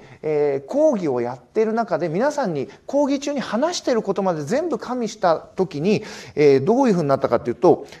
正当可能性高い問題は11問ぐらいあるかなと個人的には思ってるんですね。ただ中程度の問題は5問になって、低い問題は4問ということで、結果ですね、私の、あの、個人的な見解で換算しても合格ラインっていうのは変わらなくて、やっぱり今回はね、あの、えーいろいろ講義とかいろんなことを受けてくださっててもやっぱり6割取れてれば相当御の字だなというふうに思ってます。じゃあちょっとね具体的に中身を見ていきますので、えっと、まずね問題の方を開けていただきたいんですがまず1問目、えー、財務諸要監査に関する記述ということで、えー、これはですね、まあ、正当可能性一応高いとしていて、まあ、私も個人的にそう思ってます。で、えー、これはまずあのところでね、故意か正当な注意払ったかどうかって過失かっていうことで、まあ、あの責任が判断される。故意の責任か過失の責任と、まあ、ここは丸つけていただきたかったと。で、意のところも、あの、これ、2つであるって書いてあるんですね。あの、会計基準に継続的に準拠している。そして、えっ、ー、と、まあ、採用した、えー、会計基準に準拠し、継続適用されているかどうか。そして実、実態を適切に反映しているかと。まあ、実質的判断と。で、なんか皆さん、勉強されてた方はですね、なんか1個足りないなと、その1個が何かを思い出せなくてもいいんですけども、えー、これね、表示方法が適切であるかっていうのが1つ足りないので、なんとなくいいや×かなっていうふうにつけられたらよかったなと思います。で、うがですね、まあ迷ったかもしれないんですけども、まあただね、事実や状況、または十分かつ適切な監査条項による裏付けのない判断は、まあ基本、専門家ですからね、裏付けのないあの適当な判断を行使していいかっていうと、まあそれはダメだということで、まあ、うをなんとか丸にできればよかった。絵のところはちょっと一見難しいんですよね。あの、財務省利用者の経済的意思決定に有用な情報をね、これを経営者に対して訂正、記載を求めたけども記載されなかった場合、これはですね、やはり経済的意思決定に有用な情報ですから、経営者が開示すべきもの、これを開示しなかったんであれば、やっぱり意見の枠組みの中で対応するということで、除外事項または追記情報のこの追記情報じゃないんだということで切っていただきたかったんですが、まあ、ここはですね、あとうが丸っていうところで、まあ、なんとか、あの、えー、そうですね、えー、いは×で、まあ、絵はちょっと無視しても、あの、まあ、良かったかなというふうに思います。なので、まあ、えっ、ー、と、ここは、まあ、一応、問題1は、えっ、ー、と、できれば取りたかったというところですね。で、え問題2の公認会計手法ですね。で、これは、レックとしては中程度と言ってますが、私としてはですね、ここはまあできてもよよかったかなというふうに思ってます。なぜならば、カンサロンではま、またこのタイミングでも言いますけど、過去問がものすごく重要です。レックとしても問題集として過去問をね、えー、お渡ししてますが、このあの選択肢の、えー、共同監査の登録抹消の場合、これ過去問出てます。で、えー、いは、えー、いはですね、まあこれ、えっ、ー、と、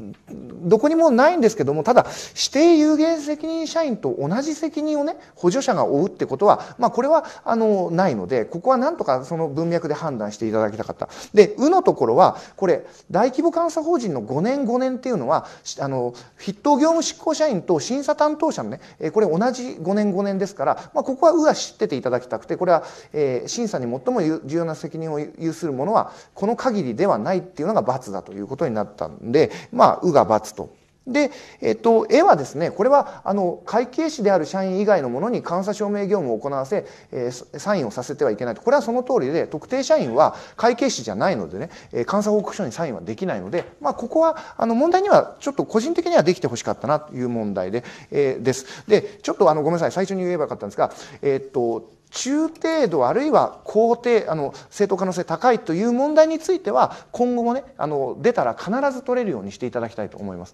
で逆に低いって今回言ってる4問は正直ねもう見なくてもいいと思ってます。特に4問のうちの2問はもう最悪な問題というかねあんまり言うとあの、えーと、怒られちゃいますけどあのもうひどすぎるとあの二度と見なくていい問題も出てます。んでちょっと後で言いますけども、えー、そういったところになりますので中程度と高程あの正当可能性高い問題をあの今後の対策としていただきたいと思います。では次、えっと、問題の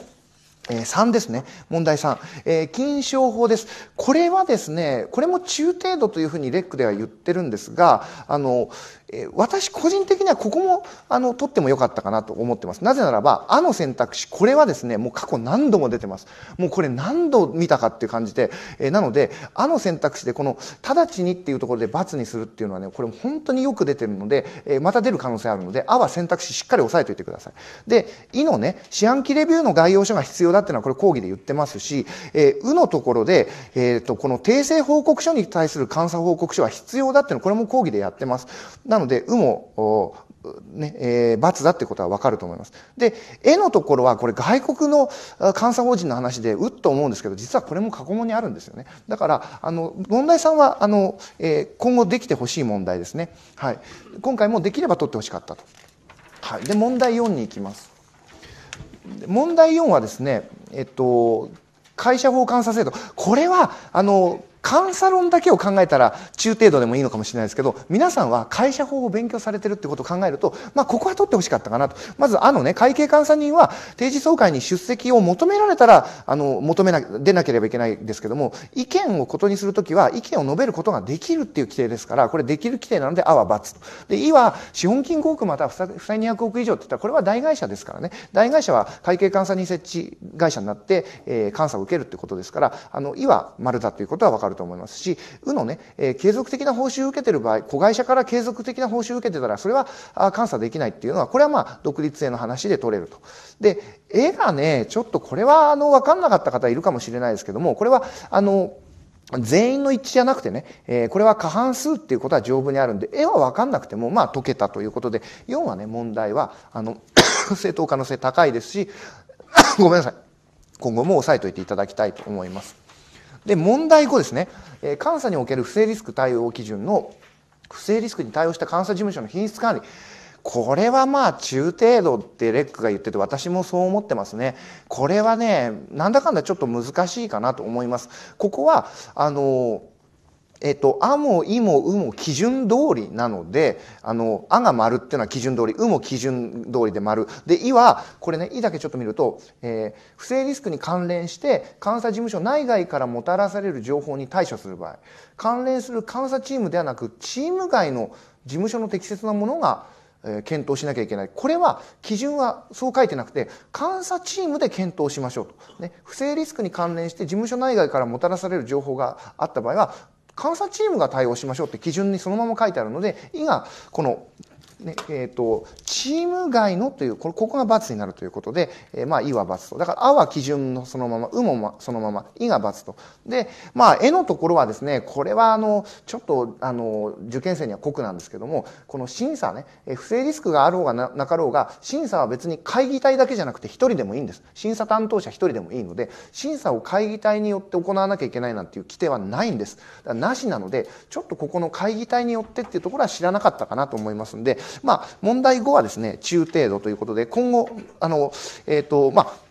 担当、まあまあねえーと、論文受けられる方あるいは、まあ、担当を、ね、今後受ける方っていうのもいるとは思いますけども、えその時には押さえておいていただくということになりますね。はいでえーと、問題6の四半期レビュー、まあ、ここはあの、えーと、正当可能性高いというふうにね、えーえー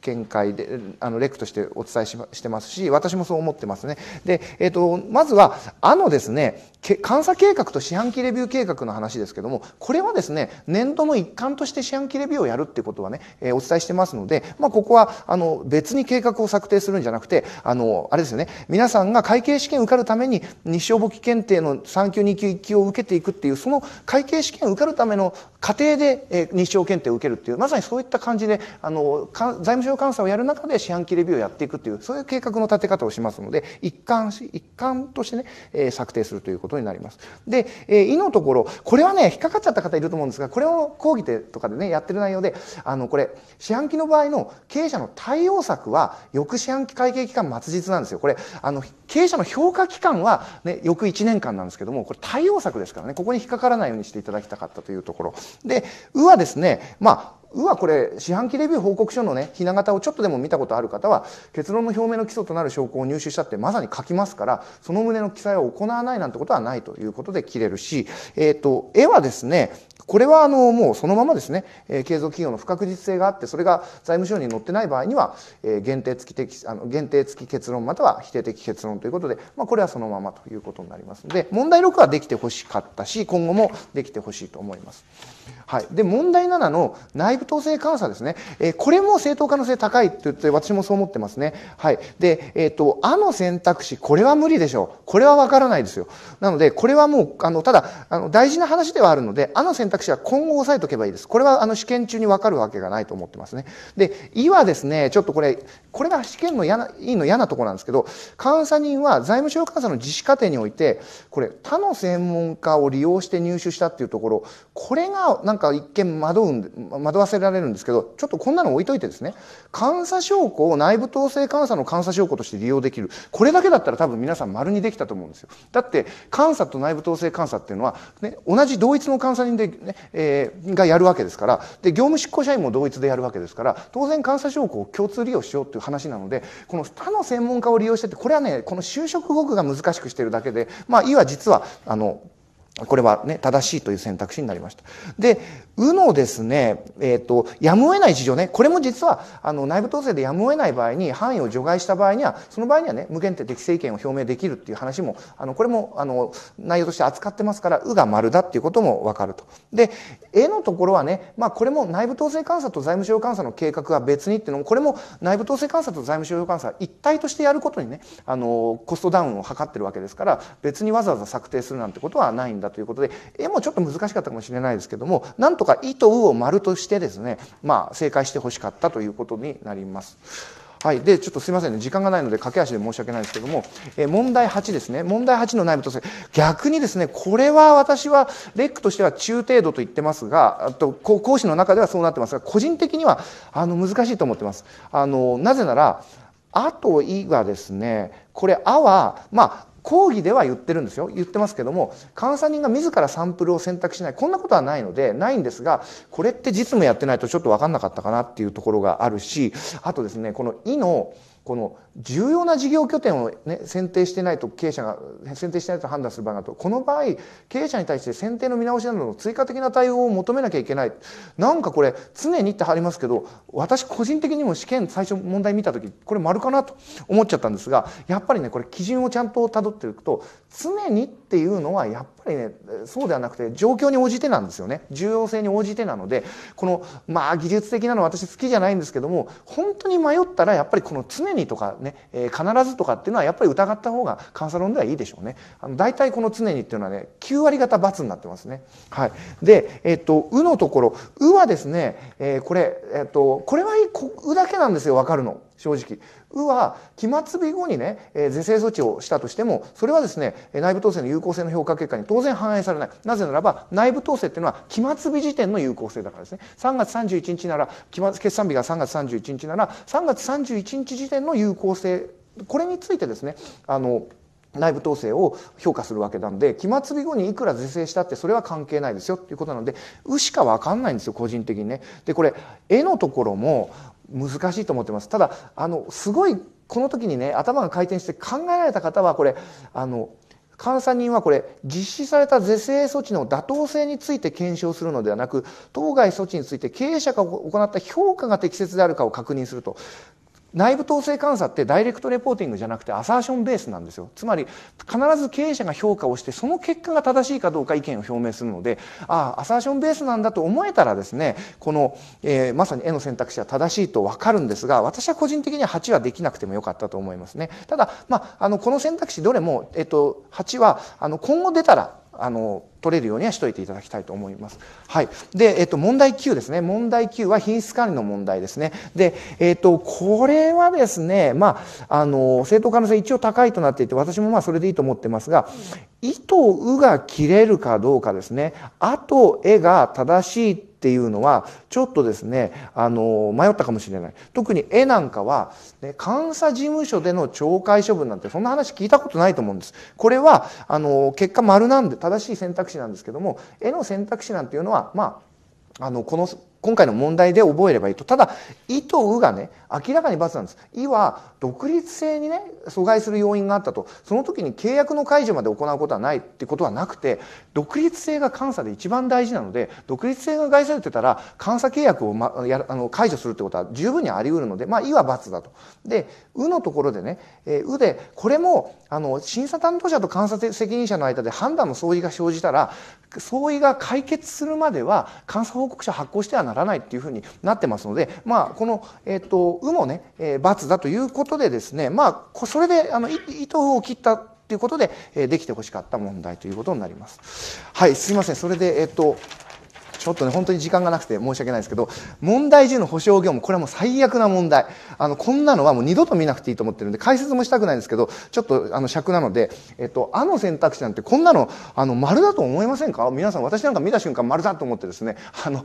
みんなで議論した結果、これ実は違うんだってこと分かったんですけど、保証業務には業務実施者自らが主題情報を作成して、もうこの時点で普通の受験生だったらですよ、業務実施者っていうのは監査人です。監査人自らが財務省を作るなんてありえないだろうって終わるんですよ。ただ、これね、厳密に保証業務の、えっ、ー、とね、えー、保証業務のレビュー以外に関する実務指針っていうかなんかすごい細かいのがあって、そこには業務実施者っていうのに監査人じゃなくて経営者がなる場合があるって言って書いてあるんですよ。経営者が自らが、だから業務実施者が経営者だとすると、経営者自らが財務諸表を作って、で、その財務諸表を結論としてそのまま保証業務に報告する業務っていうのは、実はあるって定められてるんですけど、これは、あの、もう忘れてください。あの、こあの皆さんは多分ね、ここを丸にされた方は、えー、業務実施者は独立の立場から公正不変の態度を保持することが最も重視されるので、自らが主題に責任を負う者及び想定利用者とはなることができないっていう、その、あの、部分を知ってるはずなので、ここを丸にしたと、あの、あごめんなさい、×ににしたと思うんですけど、ごめんなさいね、ここ×にしたと思うんですけど、これはね、えっと、丸の選択肢なんですね。だから、あの、あの選択肢なんて、これはもう、でも、あの、これは、次はもう、あの、もう絶対出さないでくれっていうね、抗議したいぐらいの選択肢ですね。で、いの選択肢は丸なんですけども、ちょっと細かいですし、えっと、うとえが×なんですが、まあ、うとえもね、あの、うのところ方に関しては、えー、概念的枠組みに関する意見書に載ってるので、まあ、うだけは今後出されてもちょっと文句言えないかなっていう気がするんですが、絵もですね、かなりあの細かい、えーその、監査及びレビュー以外の保証業務に関する実務審というところに載ってる話なので、えっ、と、正直、えー、まあ、強いて言うなら、う。で、えっ、と、う以外何か抑えるんだったら、まあ、絵をちょっとと、まあ、細かいですけど知っとくぐらいで、もうこの「あ」とか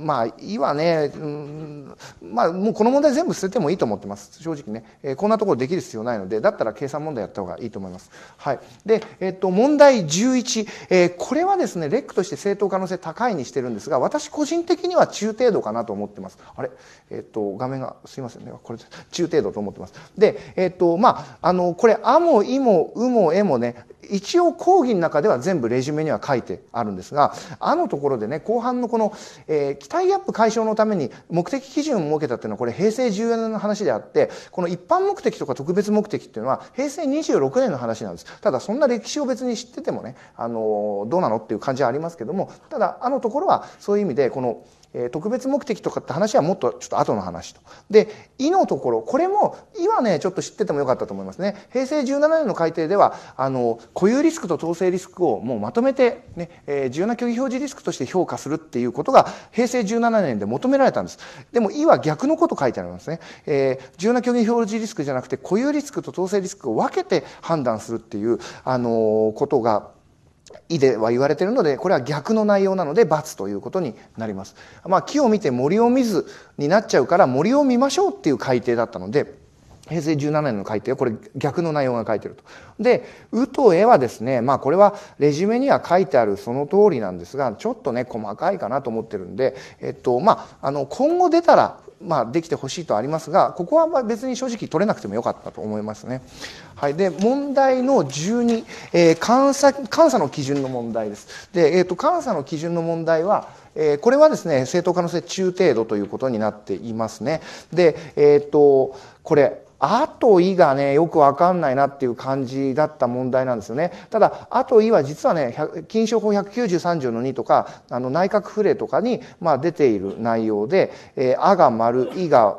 えっ、ー、と、罰ということになっています。で、えっ、ー、と、ちょっと細かい内容ね、本当に時間がなくてあれなんで申し訳ないんですけども、まあ、ここは、あの、法律の条文にあるので、えっ、と、あといはね、あが、え丸、いが罰っていうのは、もうそのまま今後のためには押さえておいていただくといいかなと思います。で、えう、うが丸で、えが×っていう、これはですね、取れてほしかったところ、取れてっていうか分かってほしいところなんですね。え今後も必ずできてほしい。うは、あの、これ、任意監査には監査基準が適用されないかというと、そんなことないんですね。公認会計士がやる監査の全てに監査基準が適用されるということなので、えうは丸だ、あの、うはごめんなさい、えっと、うは丸だと。ね、え任意監査であっても監査基準に従わなきゃいけないということ。で、えのですね、えっと、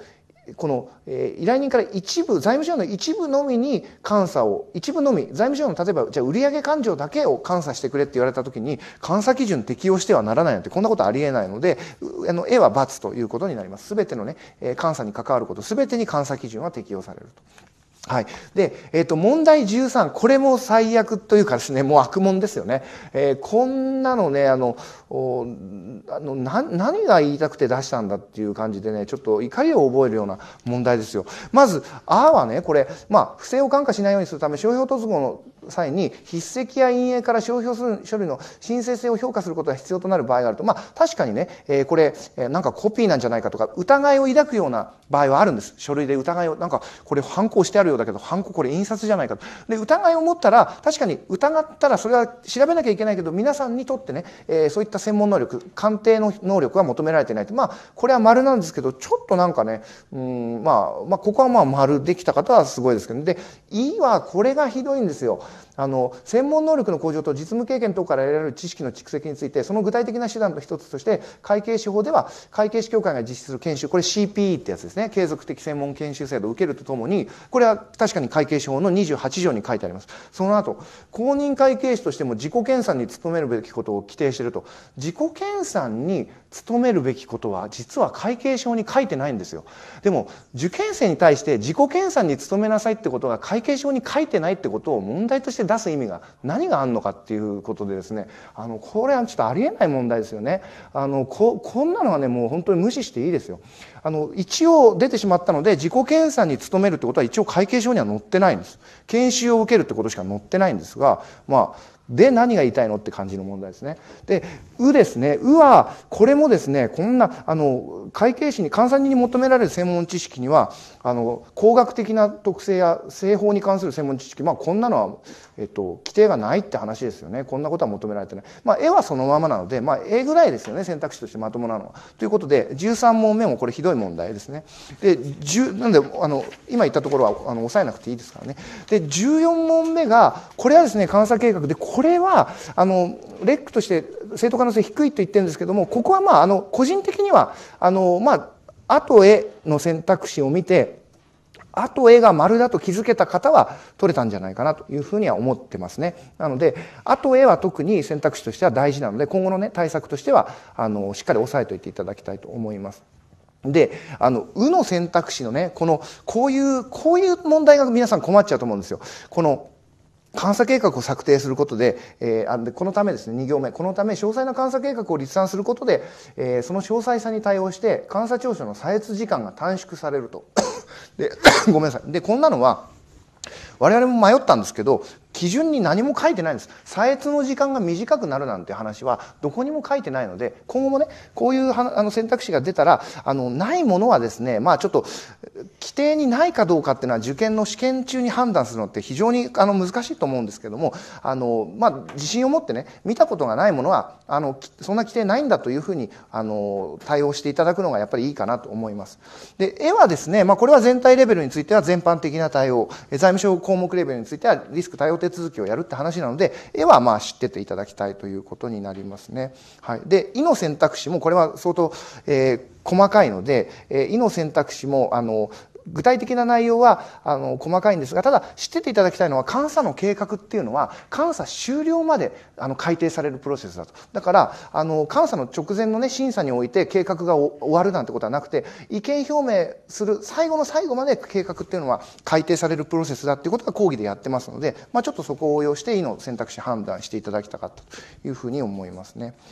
はい。で、えっと、えー、次15いきます。15はですね、これはあの正当可能性高い問題で、あの、これは、えっ、と、まあ、大体講義の中で扱ってる話なので、えー、これはできてほしかったなというところですね。なので今後も、ここのあからえまでは、あの、必ずできるようにしておいていただきたい。担当論文対策ともに必要ですね。で、あのところで、えー、需要性の基準値を設定する場合に予算を使わなきゃいけないなんてことはどこにも書いてません。ねえー、これは、あの、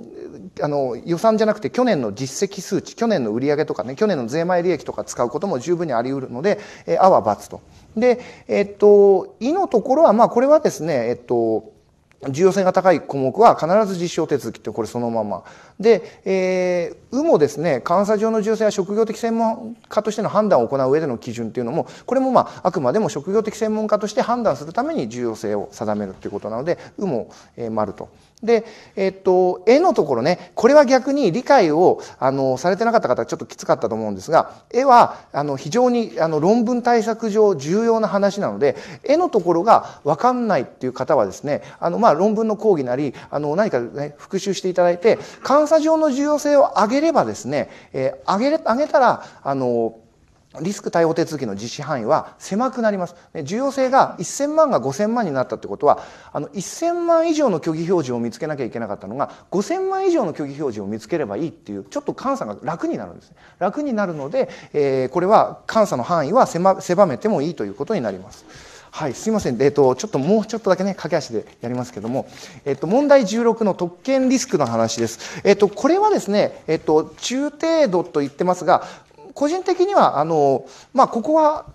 あの取れるような勉強を、まああのね、今後担当論文ともしていただきたいと思います。あの、えー、経営者確認書のには、え、これ会計上の見積もりは含めるっていう規定がありますので、あは×と。で、えっ、と、いのですね、えっ、と、稀な取引については特に内部統制があのない場合には実証手続きをやればいいっていうので、え、いは丸と。で、えっ、と、うの部分のね、え、このえー、うはちょっと難しかったと思いますが、特権リスクの場合に、えー、監査役等のコミュニケーションを行わないかと行うことを除外したっていうことですけども、えー、特権リスクはこれ必ず監査役等とコミュニケーションしなきゃいけないっていう規定が260にありますので、えー、うも×、うは×と。で、えっ、と、絵はね、え、まさにこれ特権リスクのままなので、まあ、絵は丸ということで、まあ、この、どの選択肢、これ、今後とも、あの、出題される可能性って結構高いと思いますので、えっ、と、このね、これは中程度ですけども、やはり、あの、正当可能性高いよりの中程度だということで、選択肢を押さえておいていただきたいと思います。で、すいませんね、問題17、え、監査報告に関する問題で、これもですね、あの選択肢の内容としては、えー、正当可能性高いよりの中程度というふうに思っていただいて、え、しっかりと押さえていただきたいと思います。え、具体的には、意と絵、これが、あの、罰になると。いうところで本試験でもまあ切れたらよかったなと思いますね。いはあの特別目的の枠組みの時特別目的の財務諸要の時に、えー、このね配布制限を付す場合というのはありますから必要がないっていうところはまあ罰だし絵のところでですねあの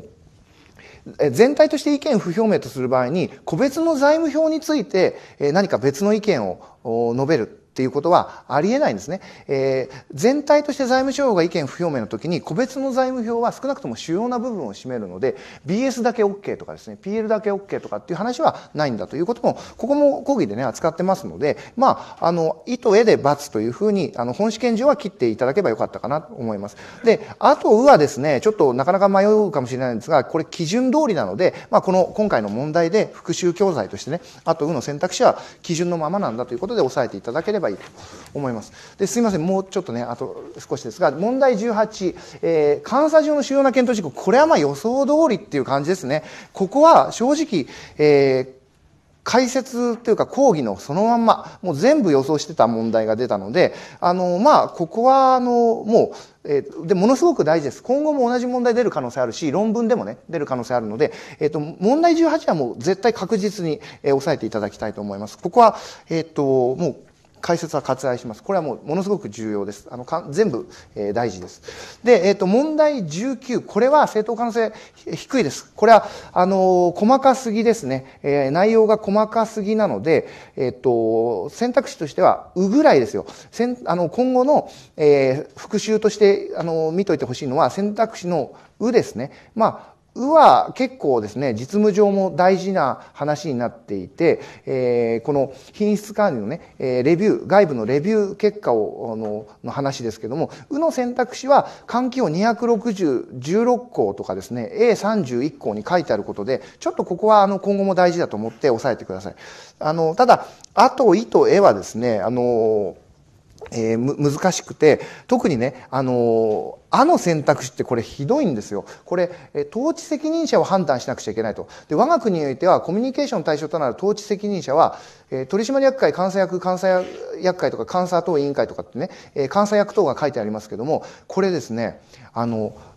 統治責任者は役会監査役等でいいんですよ。ただ、コミュニケーションの対象となる統治責任者からは取締役会が除かれてるんですよ。もう、こん、これなんか本当にくだらない問題ですから、あの、もう、まあ、ここで、あの、逆に忘れないと思います。忘れないかもしれないですけど、まあ、こんなのはいいと。あの、復習にも値しないと思いますね。で、えっ、ー、と、まあ、意図、絵はですね、あの、かなり細かいので、えっ、と、もう余裕、あの、高得点なんていうかな、アドバンテージをそこまで、あの、もう得なくていいというかね、あの、方は、あの、他の科目をやった方がよっぽど効率的だと思いますんで、え、意と絵もいいと思うんですが、まあ、あの、余裕のある方だけ意と絵は見ておけばいいかなというふうに思います。で、最後、ごめんなさいね、最後です。えっと、問題20ですけども、これは正当可能性高いというふうにレックの、あの、えっと、講師陣に話した時にはなってるんですが、私個人的には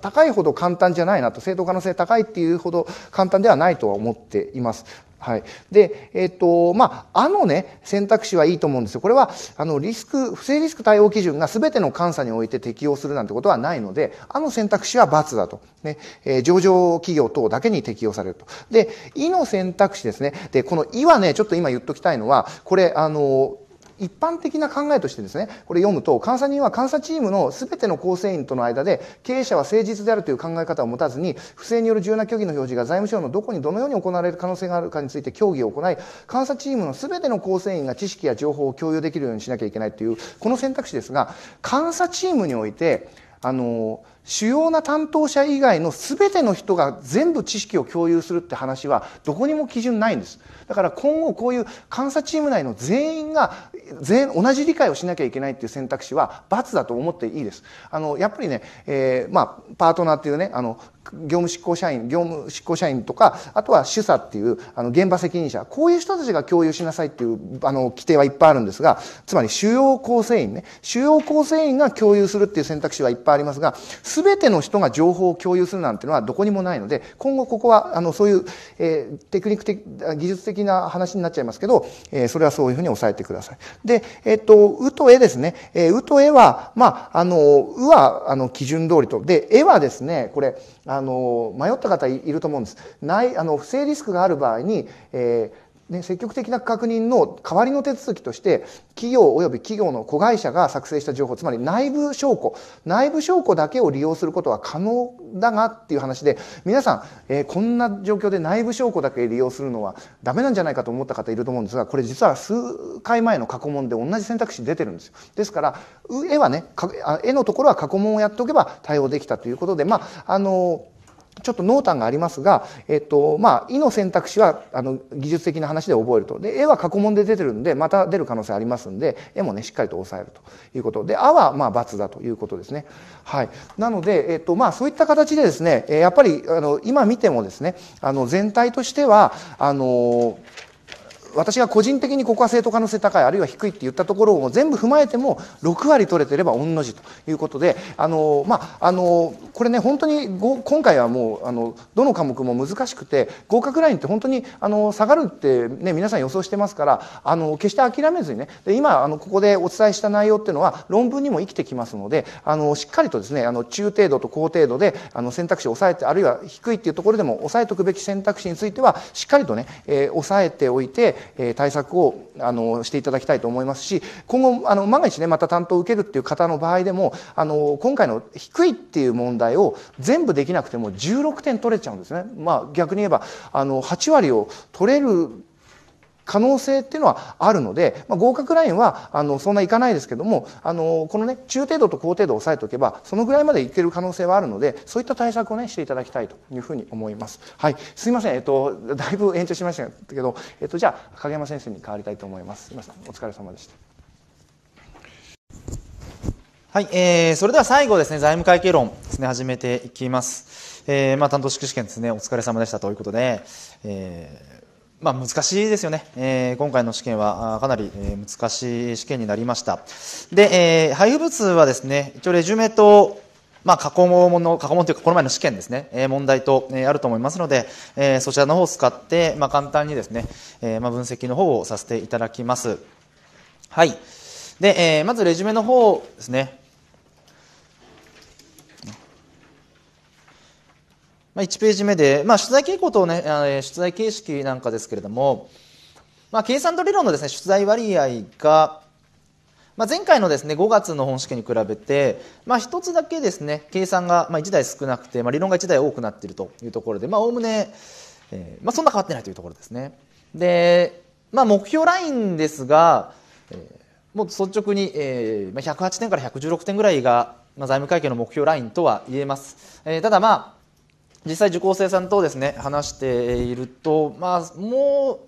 う4点ずつぐらいマイナスしても、まあ、こうボーダー突破してそうな方もですねいますので、まあ、104点から112点ぐらいというところが現実的な目標ラインかなと思いますたださすがに100点を切ってしまうっていうのは、えー、少しボーダーを下回ってしまうというところになりますので、えーまあ、その110点からまあ110点弱ぐらいというところが、まあ、一つね財務会計のボーダーかなとは思います。はい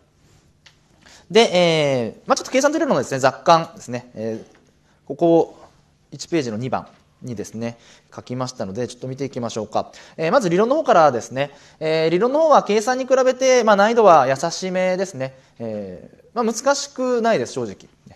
なので、まあ、問題中にはヘッジはですねやや細かな選択肢が出ていましたので、まあ、ここは正解できなくても仕方がないと思いますが、えーまあ、それ以外のところはですね正解できると思います。ただまあ本試験ですから全てね、えー、それで正解できるかっていうのはなかなか難しいので、まあ、1つぐらいミスをしたと、ね、仮定をして、えー、まあ目標ラインが、まあ、一応72というのはですねこれかなり理想になっていますけれども、えー、まあ10分の8ですね、えー、64、まあ、ここを取っていただきたいかなと。一応括弧の方になっていますけども64ですね。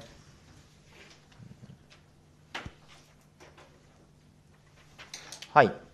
で、それに対して計算の方はですね、非常に難しい問題が多かったですね。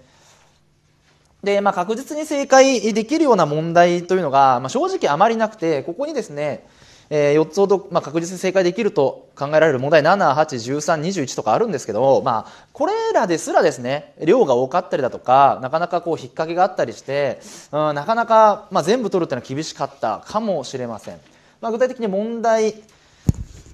えー、7が、まあ、新株予約権付き社債で問題8が自己株式13が有価証券で21が事業分離ですね、まあ、この辺りは、まあ、今回の本試験の中で言ったら優しい、えー、部類の問題になります。なのでまあ個人的にはその問題7の新株予約権付き社債と、まあ、21の事業分離、まあ、ここぐらいですかね。本当に正解しなければいけないというところは。まあ、問題8の自己株式はです、ね、分量多いですし問題13の有価証券も、まあ、これも正解しなければいけないとはいけないんですけれども、まあ、ちょっと引っ掛けがあり多くの人が、ね、引っかかってしまったと思いますんで、うん、まあちょっと仕方がないのかなとも思います。はいでまあ、あとはですね連結会計の方も、まあ、論点としてマイナーと言われているようなですね親子会社間で連結決算日が異なるというケースが出ていますので、まあ、これについてもなかなかこう点数が伸びづらかったんじゃないのかなと思います。でまあ、計算のですね目標ラインとして、まあ、総合問題含めて、まあ、52点ここを取れればもう御の字ですかね。なので、えーまあ、個別のですね8点の問題が、えー、6箇所。あごめんなさい、えー、そうですね。6箇所。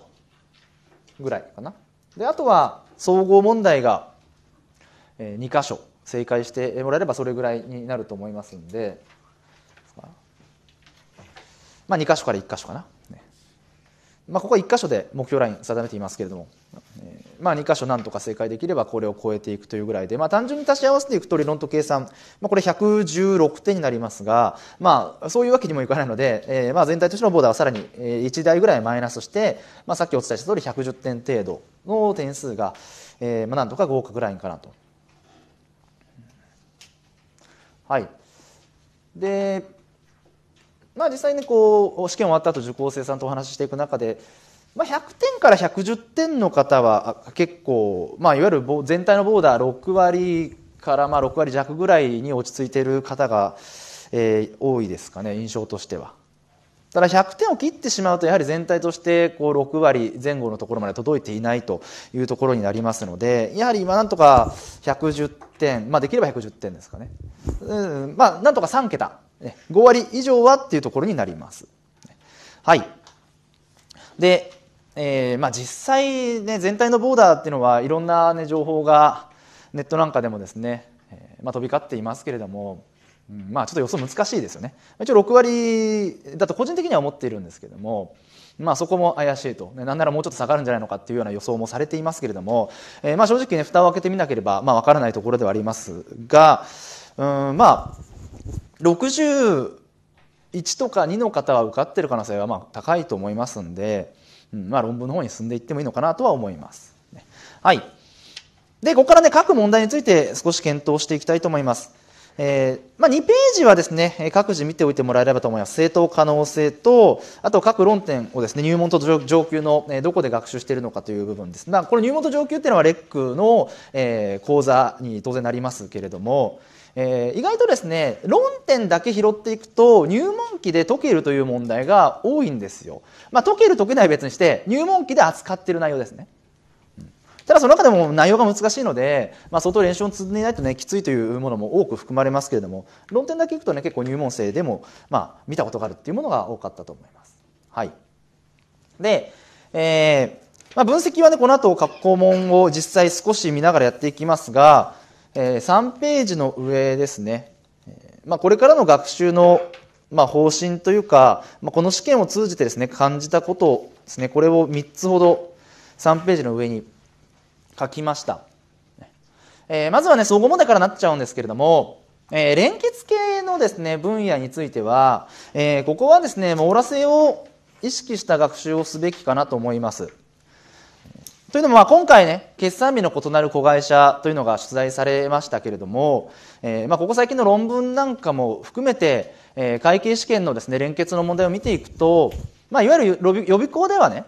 マイナーって言われているような論点も、まあ、平気で出てきます、まあ、当然ね試験員の先生が予備校のテキストのランクなんかを考慮して問題作っているわけではありませんので、まあ、出てきたって当然それはまあしかるべきなんですが、えー、結局連結の問題でわからない論点が出てくるとタイムテーブルが作れないんですよね。でタイムテーブルが作れないと点数的にはどうしても伸びないんですよ。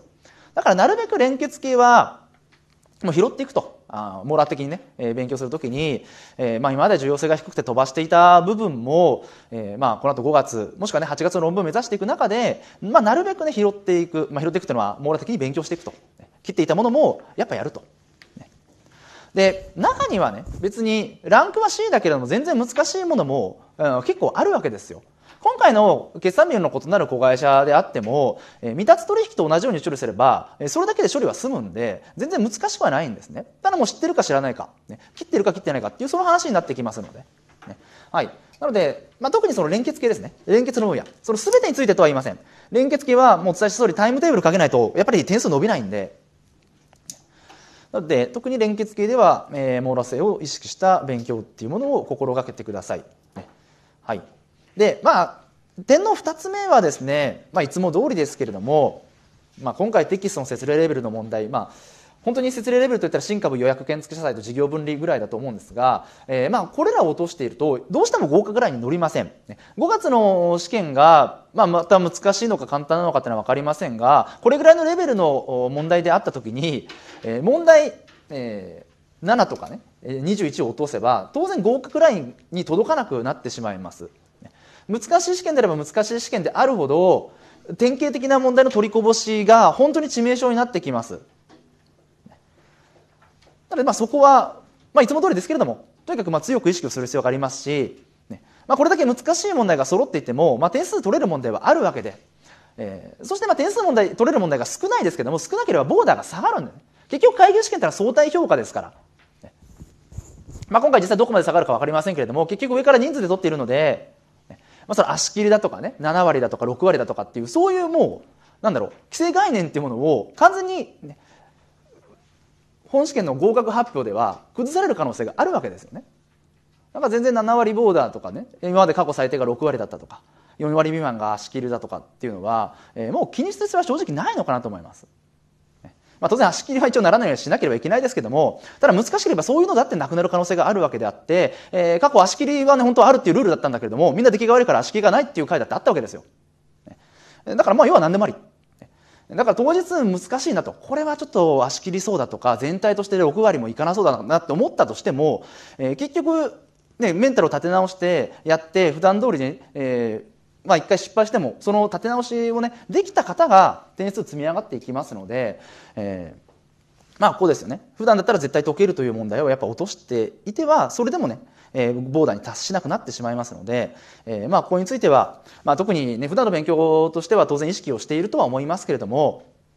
ねえーただ試験中でもね諦めないそして諦めずに説例で、えーレベルのね拾えるものを確実に拾っていくと。ね。はい。あと一番下ですね問題の指示に沿って解く力、まあ、これ当たり前なんですけれども例えば今回であれば固定資産ですね、えーまあ、この後時間ないんですけどちょっと見ていきますけれども、えー総合償却が出てきて総合償却の指示っていうのは、えーまあ、テキストなんかで扱っていない、えーまあ、特有の指示があったので、まあ、そういう部分を素直に読み取って解けるかどうかですね。指示自体は別に難しいことを言ってるわけじゃないんですけどもやっぱり見慣れないなというところで当然敬遠してしまうっていうのは気持ちは分かりますがただまあその指示に従って普段やっていない会計処理もできれば点数は拾えるんですね。なので、えーまあ、特にこの3つについてですね特に今回の本試験について感じましたので、えーまあ、特に一番上ですけどね具体的な対策としては一番上は立てられると思いますのでなるべく網羅性を持って勉強をしていくと。あと以前からもねお伝えしていた通りもうここ2年ぐらいはですね、まあ、個別論点だって、まあ、予備校でいう C ランク論点結構出ていますなので難しい C はいらないんですけれども簡単な C はもうやってください。まあ、一瞬で本当に勉強時間としてはね例えば30分ぐらいその、ね、論点勉強すれば、えーまあ、理解できてで計算問題が解けるようになるものだって結構ありますから。もう難しくなるような傾向であれば、まあ、守備範囲を広げるしかないんですよね。だから、ね、2回目ダメですよとかね、3回目ダメですよと、残念な結果になりましたという方は、今まで切っていたやつを、とりあえず切らない方向で、まず進めていくと。まあ、今までと同じ勉強していたんでは、また同じですから。で、初見の問題に対応するように勉強するとかっていうのは結構難しいですからね。それよりも範囲広げるのは簡単ですから。だから、まあ、なるべく、まあ、難しいやつはいいですよ、本当に。C ランクでかつすげえね、労力かかるっていうものはやらなくてもいいんで、簡単なものいっぱいありますから。ね。まあ、そこをね、えー広げていくようにしていただければと思います。はい、ではねちょっとあの時間がないんですが、まあ、気になるところというかね特徴が出ているところは、えー問題解説をしていきます。で計算問題はねあのここに3ページにコメント入っていますがちょっと一つだけ訂正をすいません。お願いします、えーこれ3つにですね分類したんですが、まあ、上の4つは正当必須。えー中がですね、まあ、正当可能性中みたいなものなんですがその中はですね下記6問中4問正当必須とありますが、えーこれ6題じゃなくて7題ですねすいません。7題。はい。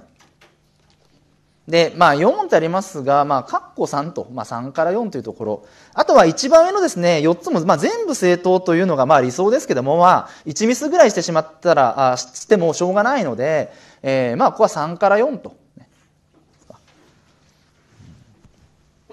まあ、いつもだったらね、この一番上の正当必須っていうところは本当に正当必須なんですけども、まあ、7と21ぐらいしか本当に正当必須とは言えないので、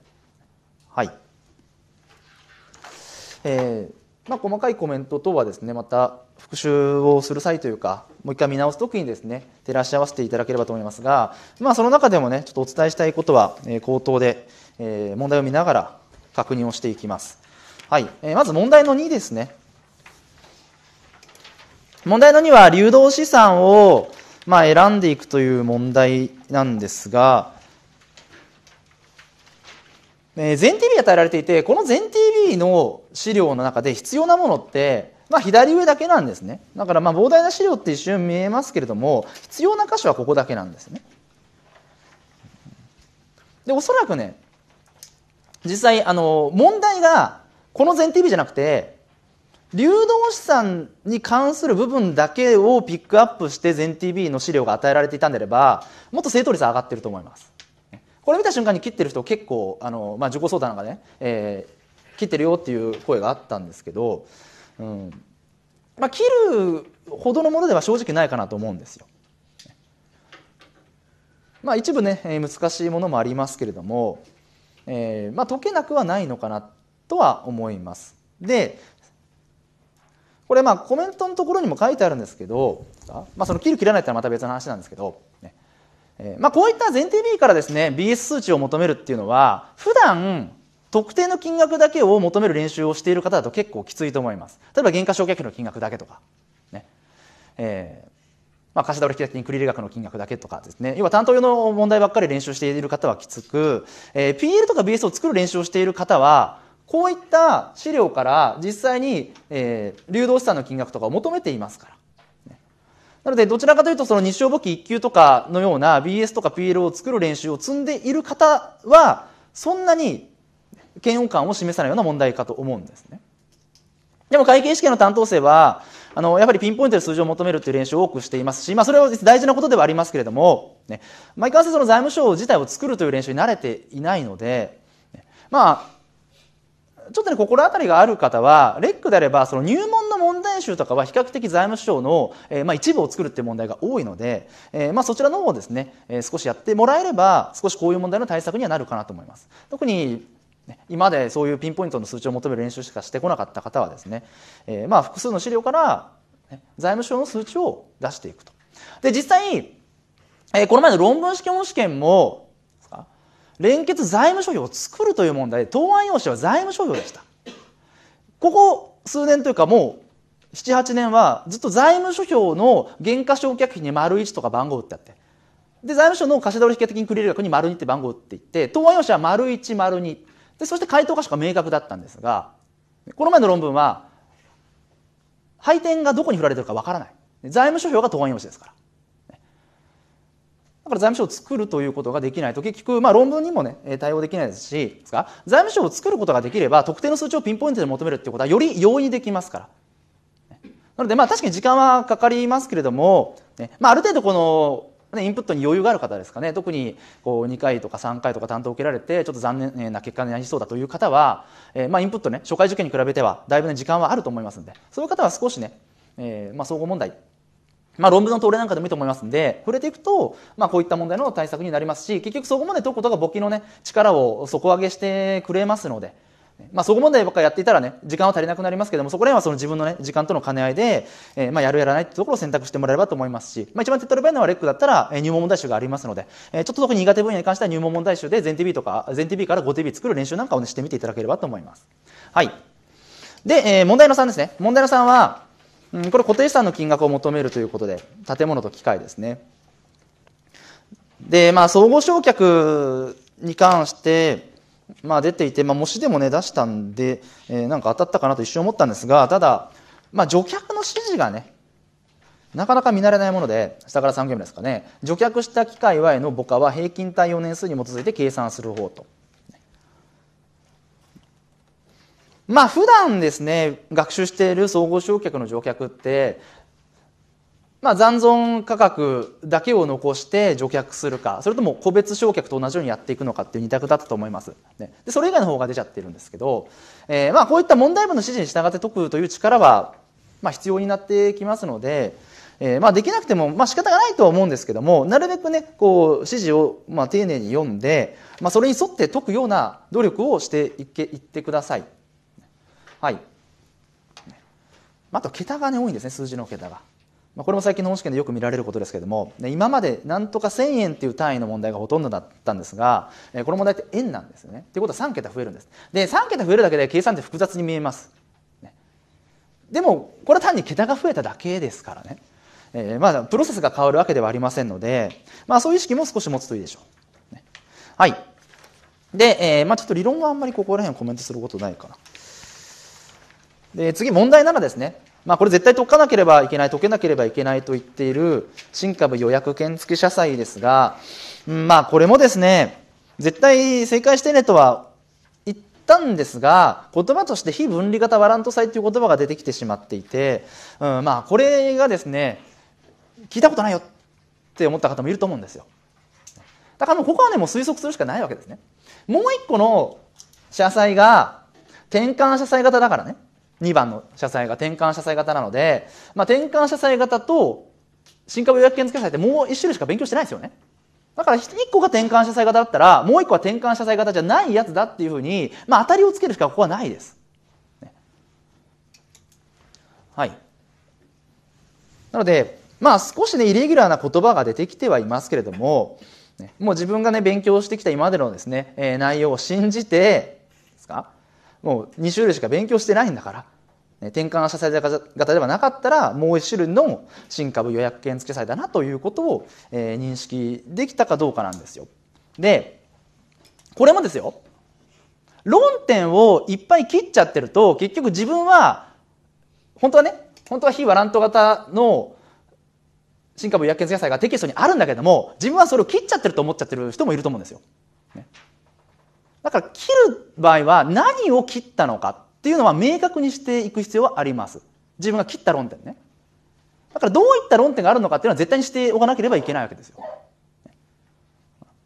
これ闇雲にもう C ランクだからもう見ないとかっていうとその見てないところが非分離型のワラント債だったらどうしようということで、えーまあ、自分が切ったものと勘違いをしてしまう可能性がありますので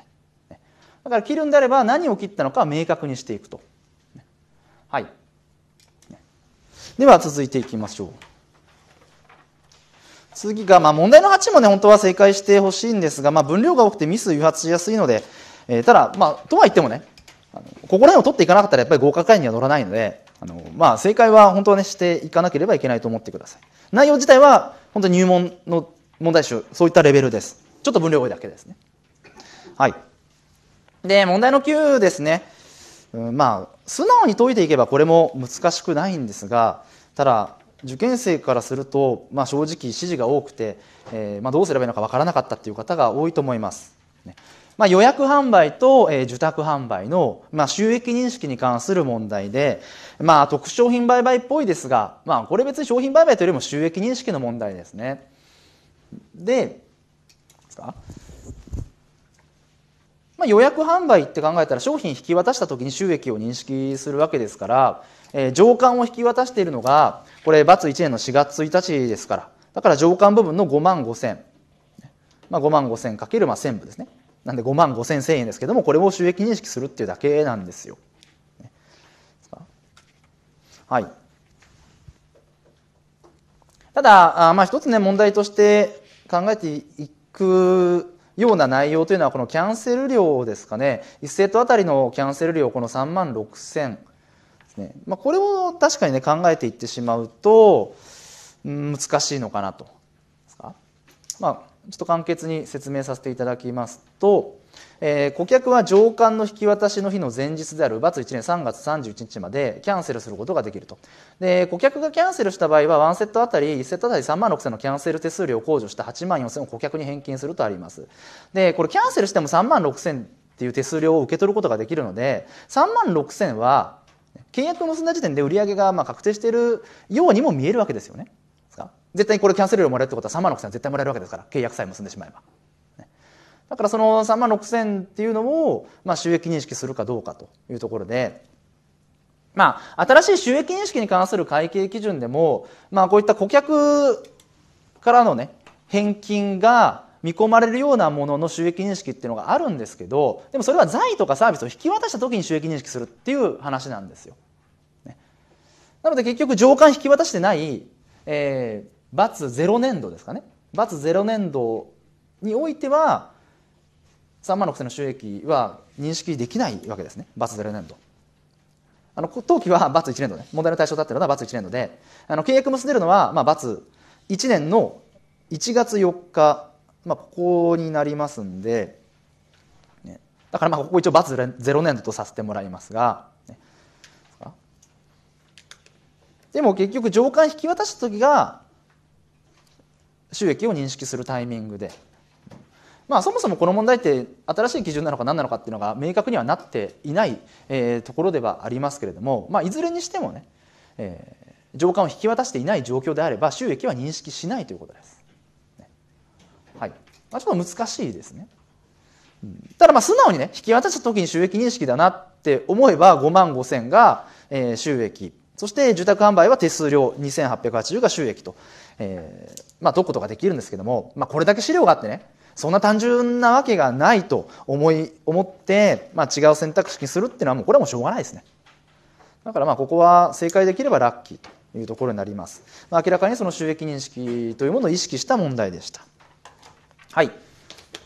で、えー、続いていきます。えー、次、問題11。まあ、個人的にはこの問題11はいい問題だなと思います。えー、まあ、めちゃくちゃ簡単ではありますが、ただ、これ非定型的なイレギュラーな問題ですね。で、わからない方はもう多分手も足も出ないというような状況で、えー、この問題11がですね、まあ、すんなり解けなかった方は、まあ、普段機械的に解いている可能性は非常に高いです。いろんな問題に対して。ね。これ普段ちゃんと考えて解いている方であれば、まあ、これが何を意味しているのか、どういうアプローチをかけていけばいいのかっていうのが、まあ、わかると。まあ、あえて、ね、強いてか、強いてあげるとするならば、この、まあ、仕入れ値引きの部分なんかはちょっと難しいかもしれませんが、まあ、それ以外は別にさして難しくないですし、まあ、この仕入れ値引きもですね、この仕入れ所係がありますので、これとね、えー、同じように考えていけば、まあ、導き出せないわけでもないので、えー、まあ、ここの部分についてね、ちょっと全然、糸口すら認えー、つかめないという方は、まあ、若干ね、その機械的に解いていくっていう、えー、気合があるかなと思ってください。はい。では、えー、続いていきます。まあ、次、有価証券はね、引っ掛けがあるんですけども、まあ、引っ掛けに引っかからないようにしてもらいたいというところですね、13は。はい。で、問題14。ちょっと理論なんですけども、一つだけ。えー、問題14は、これも質問があったところなんですが、えー、絵の選択肢ですね。絵の選択肢はリース資産に重要性が乏しいと認められる場合にリース料総額から、えー、利息相当額の合理的な見積もり額を控除しない方法、ね、いわゆる、ね、利子込み法が認められるというわけで。でこれね講義でも扱いましたけども所有権移転外ファイナンスリース取引だけに関して認められる例外規定なんです。で絵の選択肢は確かに移転とか移転外とか書いてないんですけれどもこのリース資産の重要性に関する記述はあっているんで、移転外という限定はないんですけれども、まあ、丸かなという冊子をつけるということと、あと、選択肢の意図が明らかに×なんで、こっから、選択肢の意図が明らかに×なんで、こっからですね、えー、まあ、あと絵が丸という回答を導き、導き出すことができるかと思います。まあ、確かにね、移転外という限定がないので、私も、うんって思ったんですけども、まあ、その限定がなくても重要性の乏しさに関する記述としては合ってるんでね。そして意図が必ず間違ってるというところから、判断をしなければいけません。はい。まあ、意図がね、絶対に違うというのは、これはかなり優しい選択肢なので、え、正答率は別にここは低くはならないと思います。はい。で、問題15あたりは、ここはもう典型的な問題ですからね、典型的な問題の、えー、難しいバージョンですから、えー、問題15とか、あと、問題17、問題18、リース、現存、ソフトウェアの計算問題は、えー、これは典型的問題の難しいバージョンなので、まあ、簿記をね、一生懸命練習している方であれば、この辺は解けると思います。っていうか、解けなければ、正直いけないんですね。まあ、難しいですけれども。ね、うん15、17、18は、その練習量に比例して点数取れる部分ではあります。はい。で、最後は問題21は授業分離で、ここは、まあ、正当必須ですね。まあ、評価換算差額等が、まあ、一つミスのポイントにはなってきますけれども、まあ、これを含めちゃいけない。つまり株主の相当額で計算をしていくというだけなんで、まあ、これ引っ掛けだよって思うかもしれませんけれどもでもこれが見抜けないということは勉強不足なんですね結局。勉強したら絶対見抜けますから。はい。なので、えー、まあ引っ掛けポイントではあるとは思うんですけどね。これを含めてつまりこの4600で計算する選択肢は、まあ、あるので、ね、引っ掛けのポイントではありますけども、まあ、これに引っかかってはダメですよと。はい。というところで、まあ、簡単にね、え各問ごと、えコメントを入れさせていただきました。で、えーまあ、今後の対策としてはね、さっきもお伝えした通り、えーまあ、特に連結会計では網羅性を意識したあ学習というところとあとは個別会計でもね、えー、そんなに難しくないような C ランク論点というものはあの潰していけるようにしてくださいで一応レジュメの4ページにまあ、初見問題、点検問題と、あと入門生が解ける問題。で、入門生が解けるけれども別に正解できるかどうかっていうのはまた別なので、入門生が正解しなければいけない問題とですね、あの、また並べておきましたので、参考にしてください。はい。で、あとね、今後の対策として、まあ別に宣伝というわけじゃないんですけども、まあ、一応連結会計のね、細かいところは、ちょっと急遽なんですが、3倍速講座の内容をね、本来であれば重要性が高いところをですね、3倍速の簿記でやろうと思ったんですけども、えー、まあこういった傾向を受けて、逆に重要性があまり高くない、えー、まあレギュラー講義で説明があまりね、十分にできていないような、まさにその決算日サイとかですね、えー、あと、まあ、子会社の新株予見とかそういう論点をね3倍速の簿記の前半部分で扱おうと思いますので、まあ、もしねちょっと細かいところのインプットが、うんまあ、ちょっと不十分だなって思う方は、まあ、ちょっと3倍速講座、ね、簿記も検討してもらえればいいかなと思います。でちなみに後半は総合問題のねあの解き方の対策を立てていこうと思っていますんで、えー、まあ、ちょっとそんな感じで、えー、本当は重要性高い高いところをですねやろうと思っていたんですがまあ、本試験の結果を受けて、まあ、本当は本試験の2日後から収録する予定で、まあ、収録もしてるんですけども急遽ですね、えー、変更をしたっていうような経緯があります。はいえー、ということで、まあ、この後ですね、森山先生とかもあの後ろで待機されていますので、また何かね、気になる点があればね、いろいろとあの聞いていただければと思います。はい、えー、それではですね、えー、担当式分析会は以上となります。えー、本当にお疲れ様でした。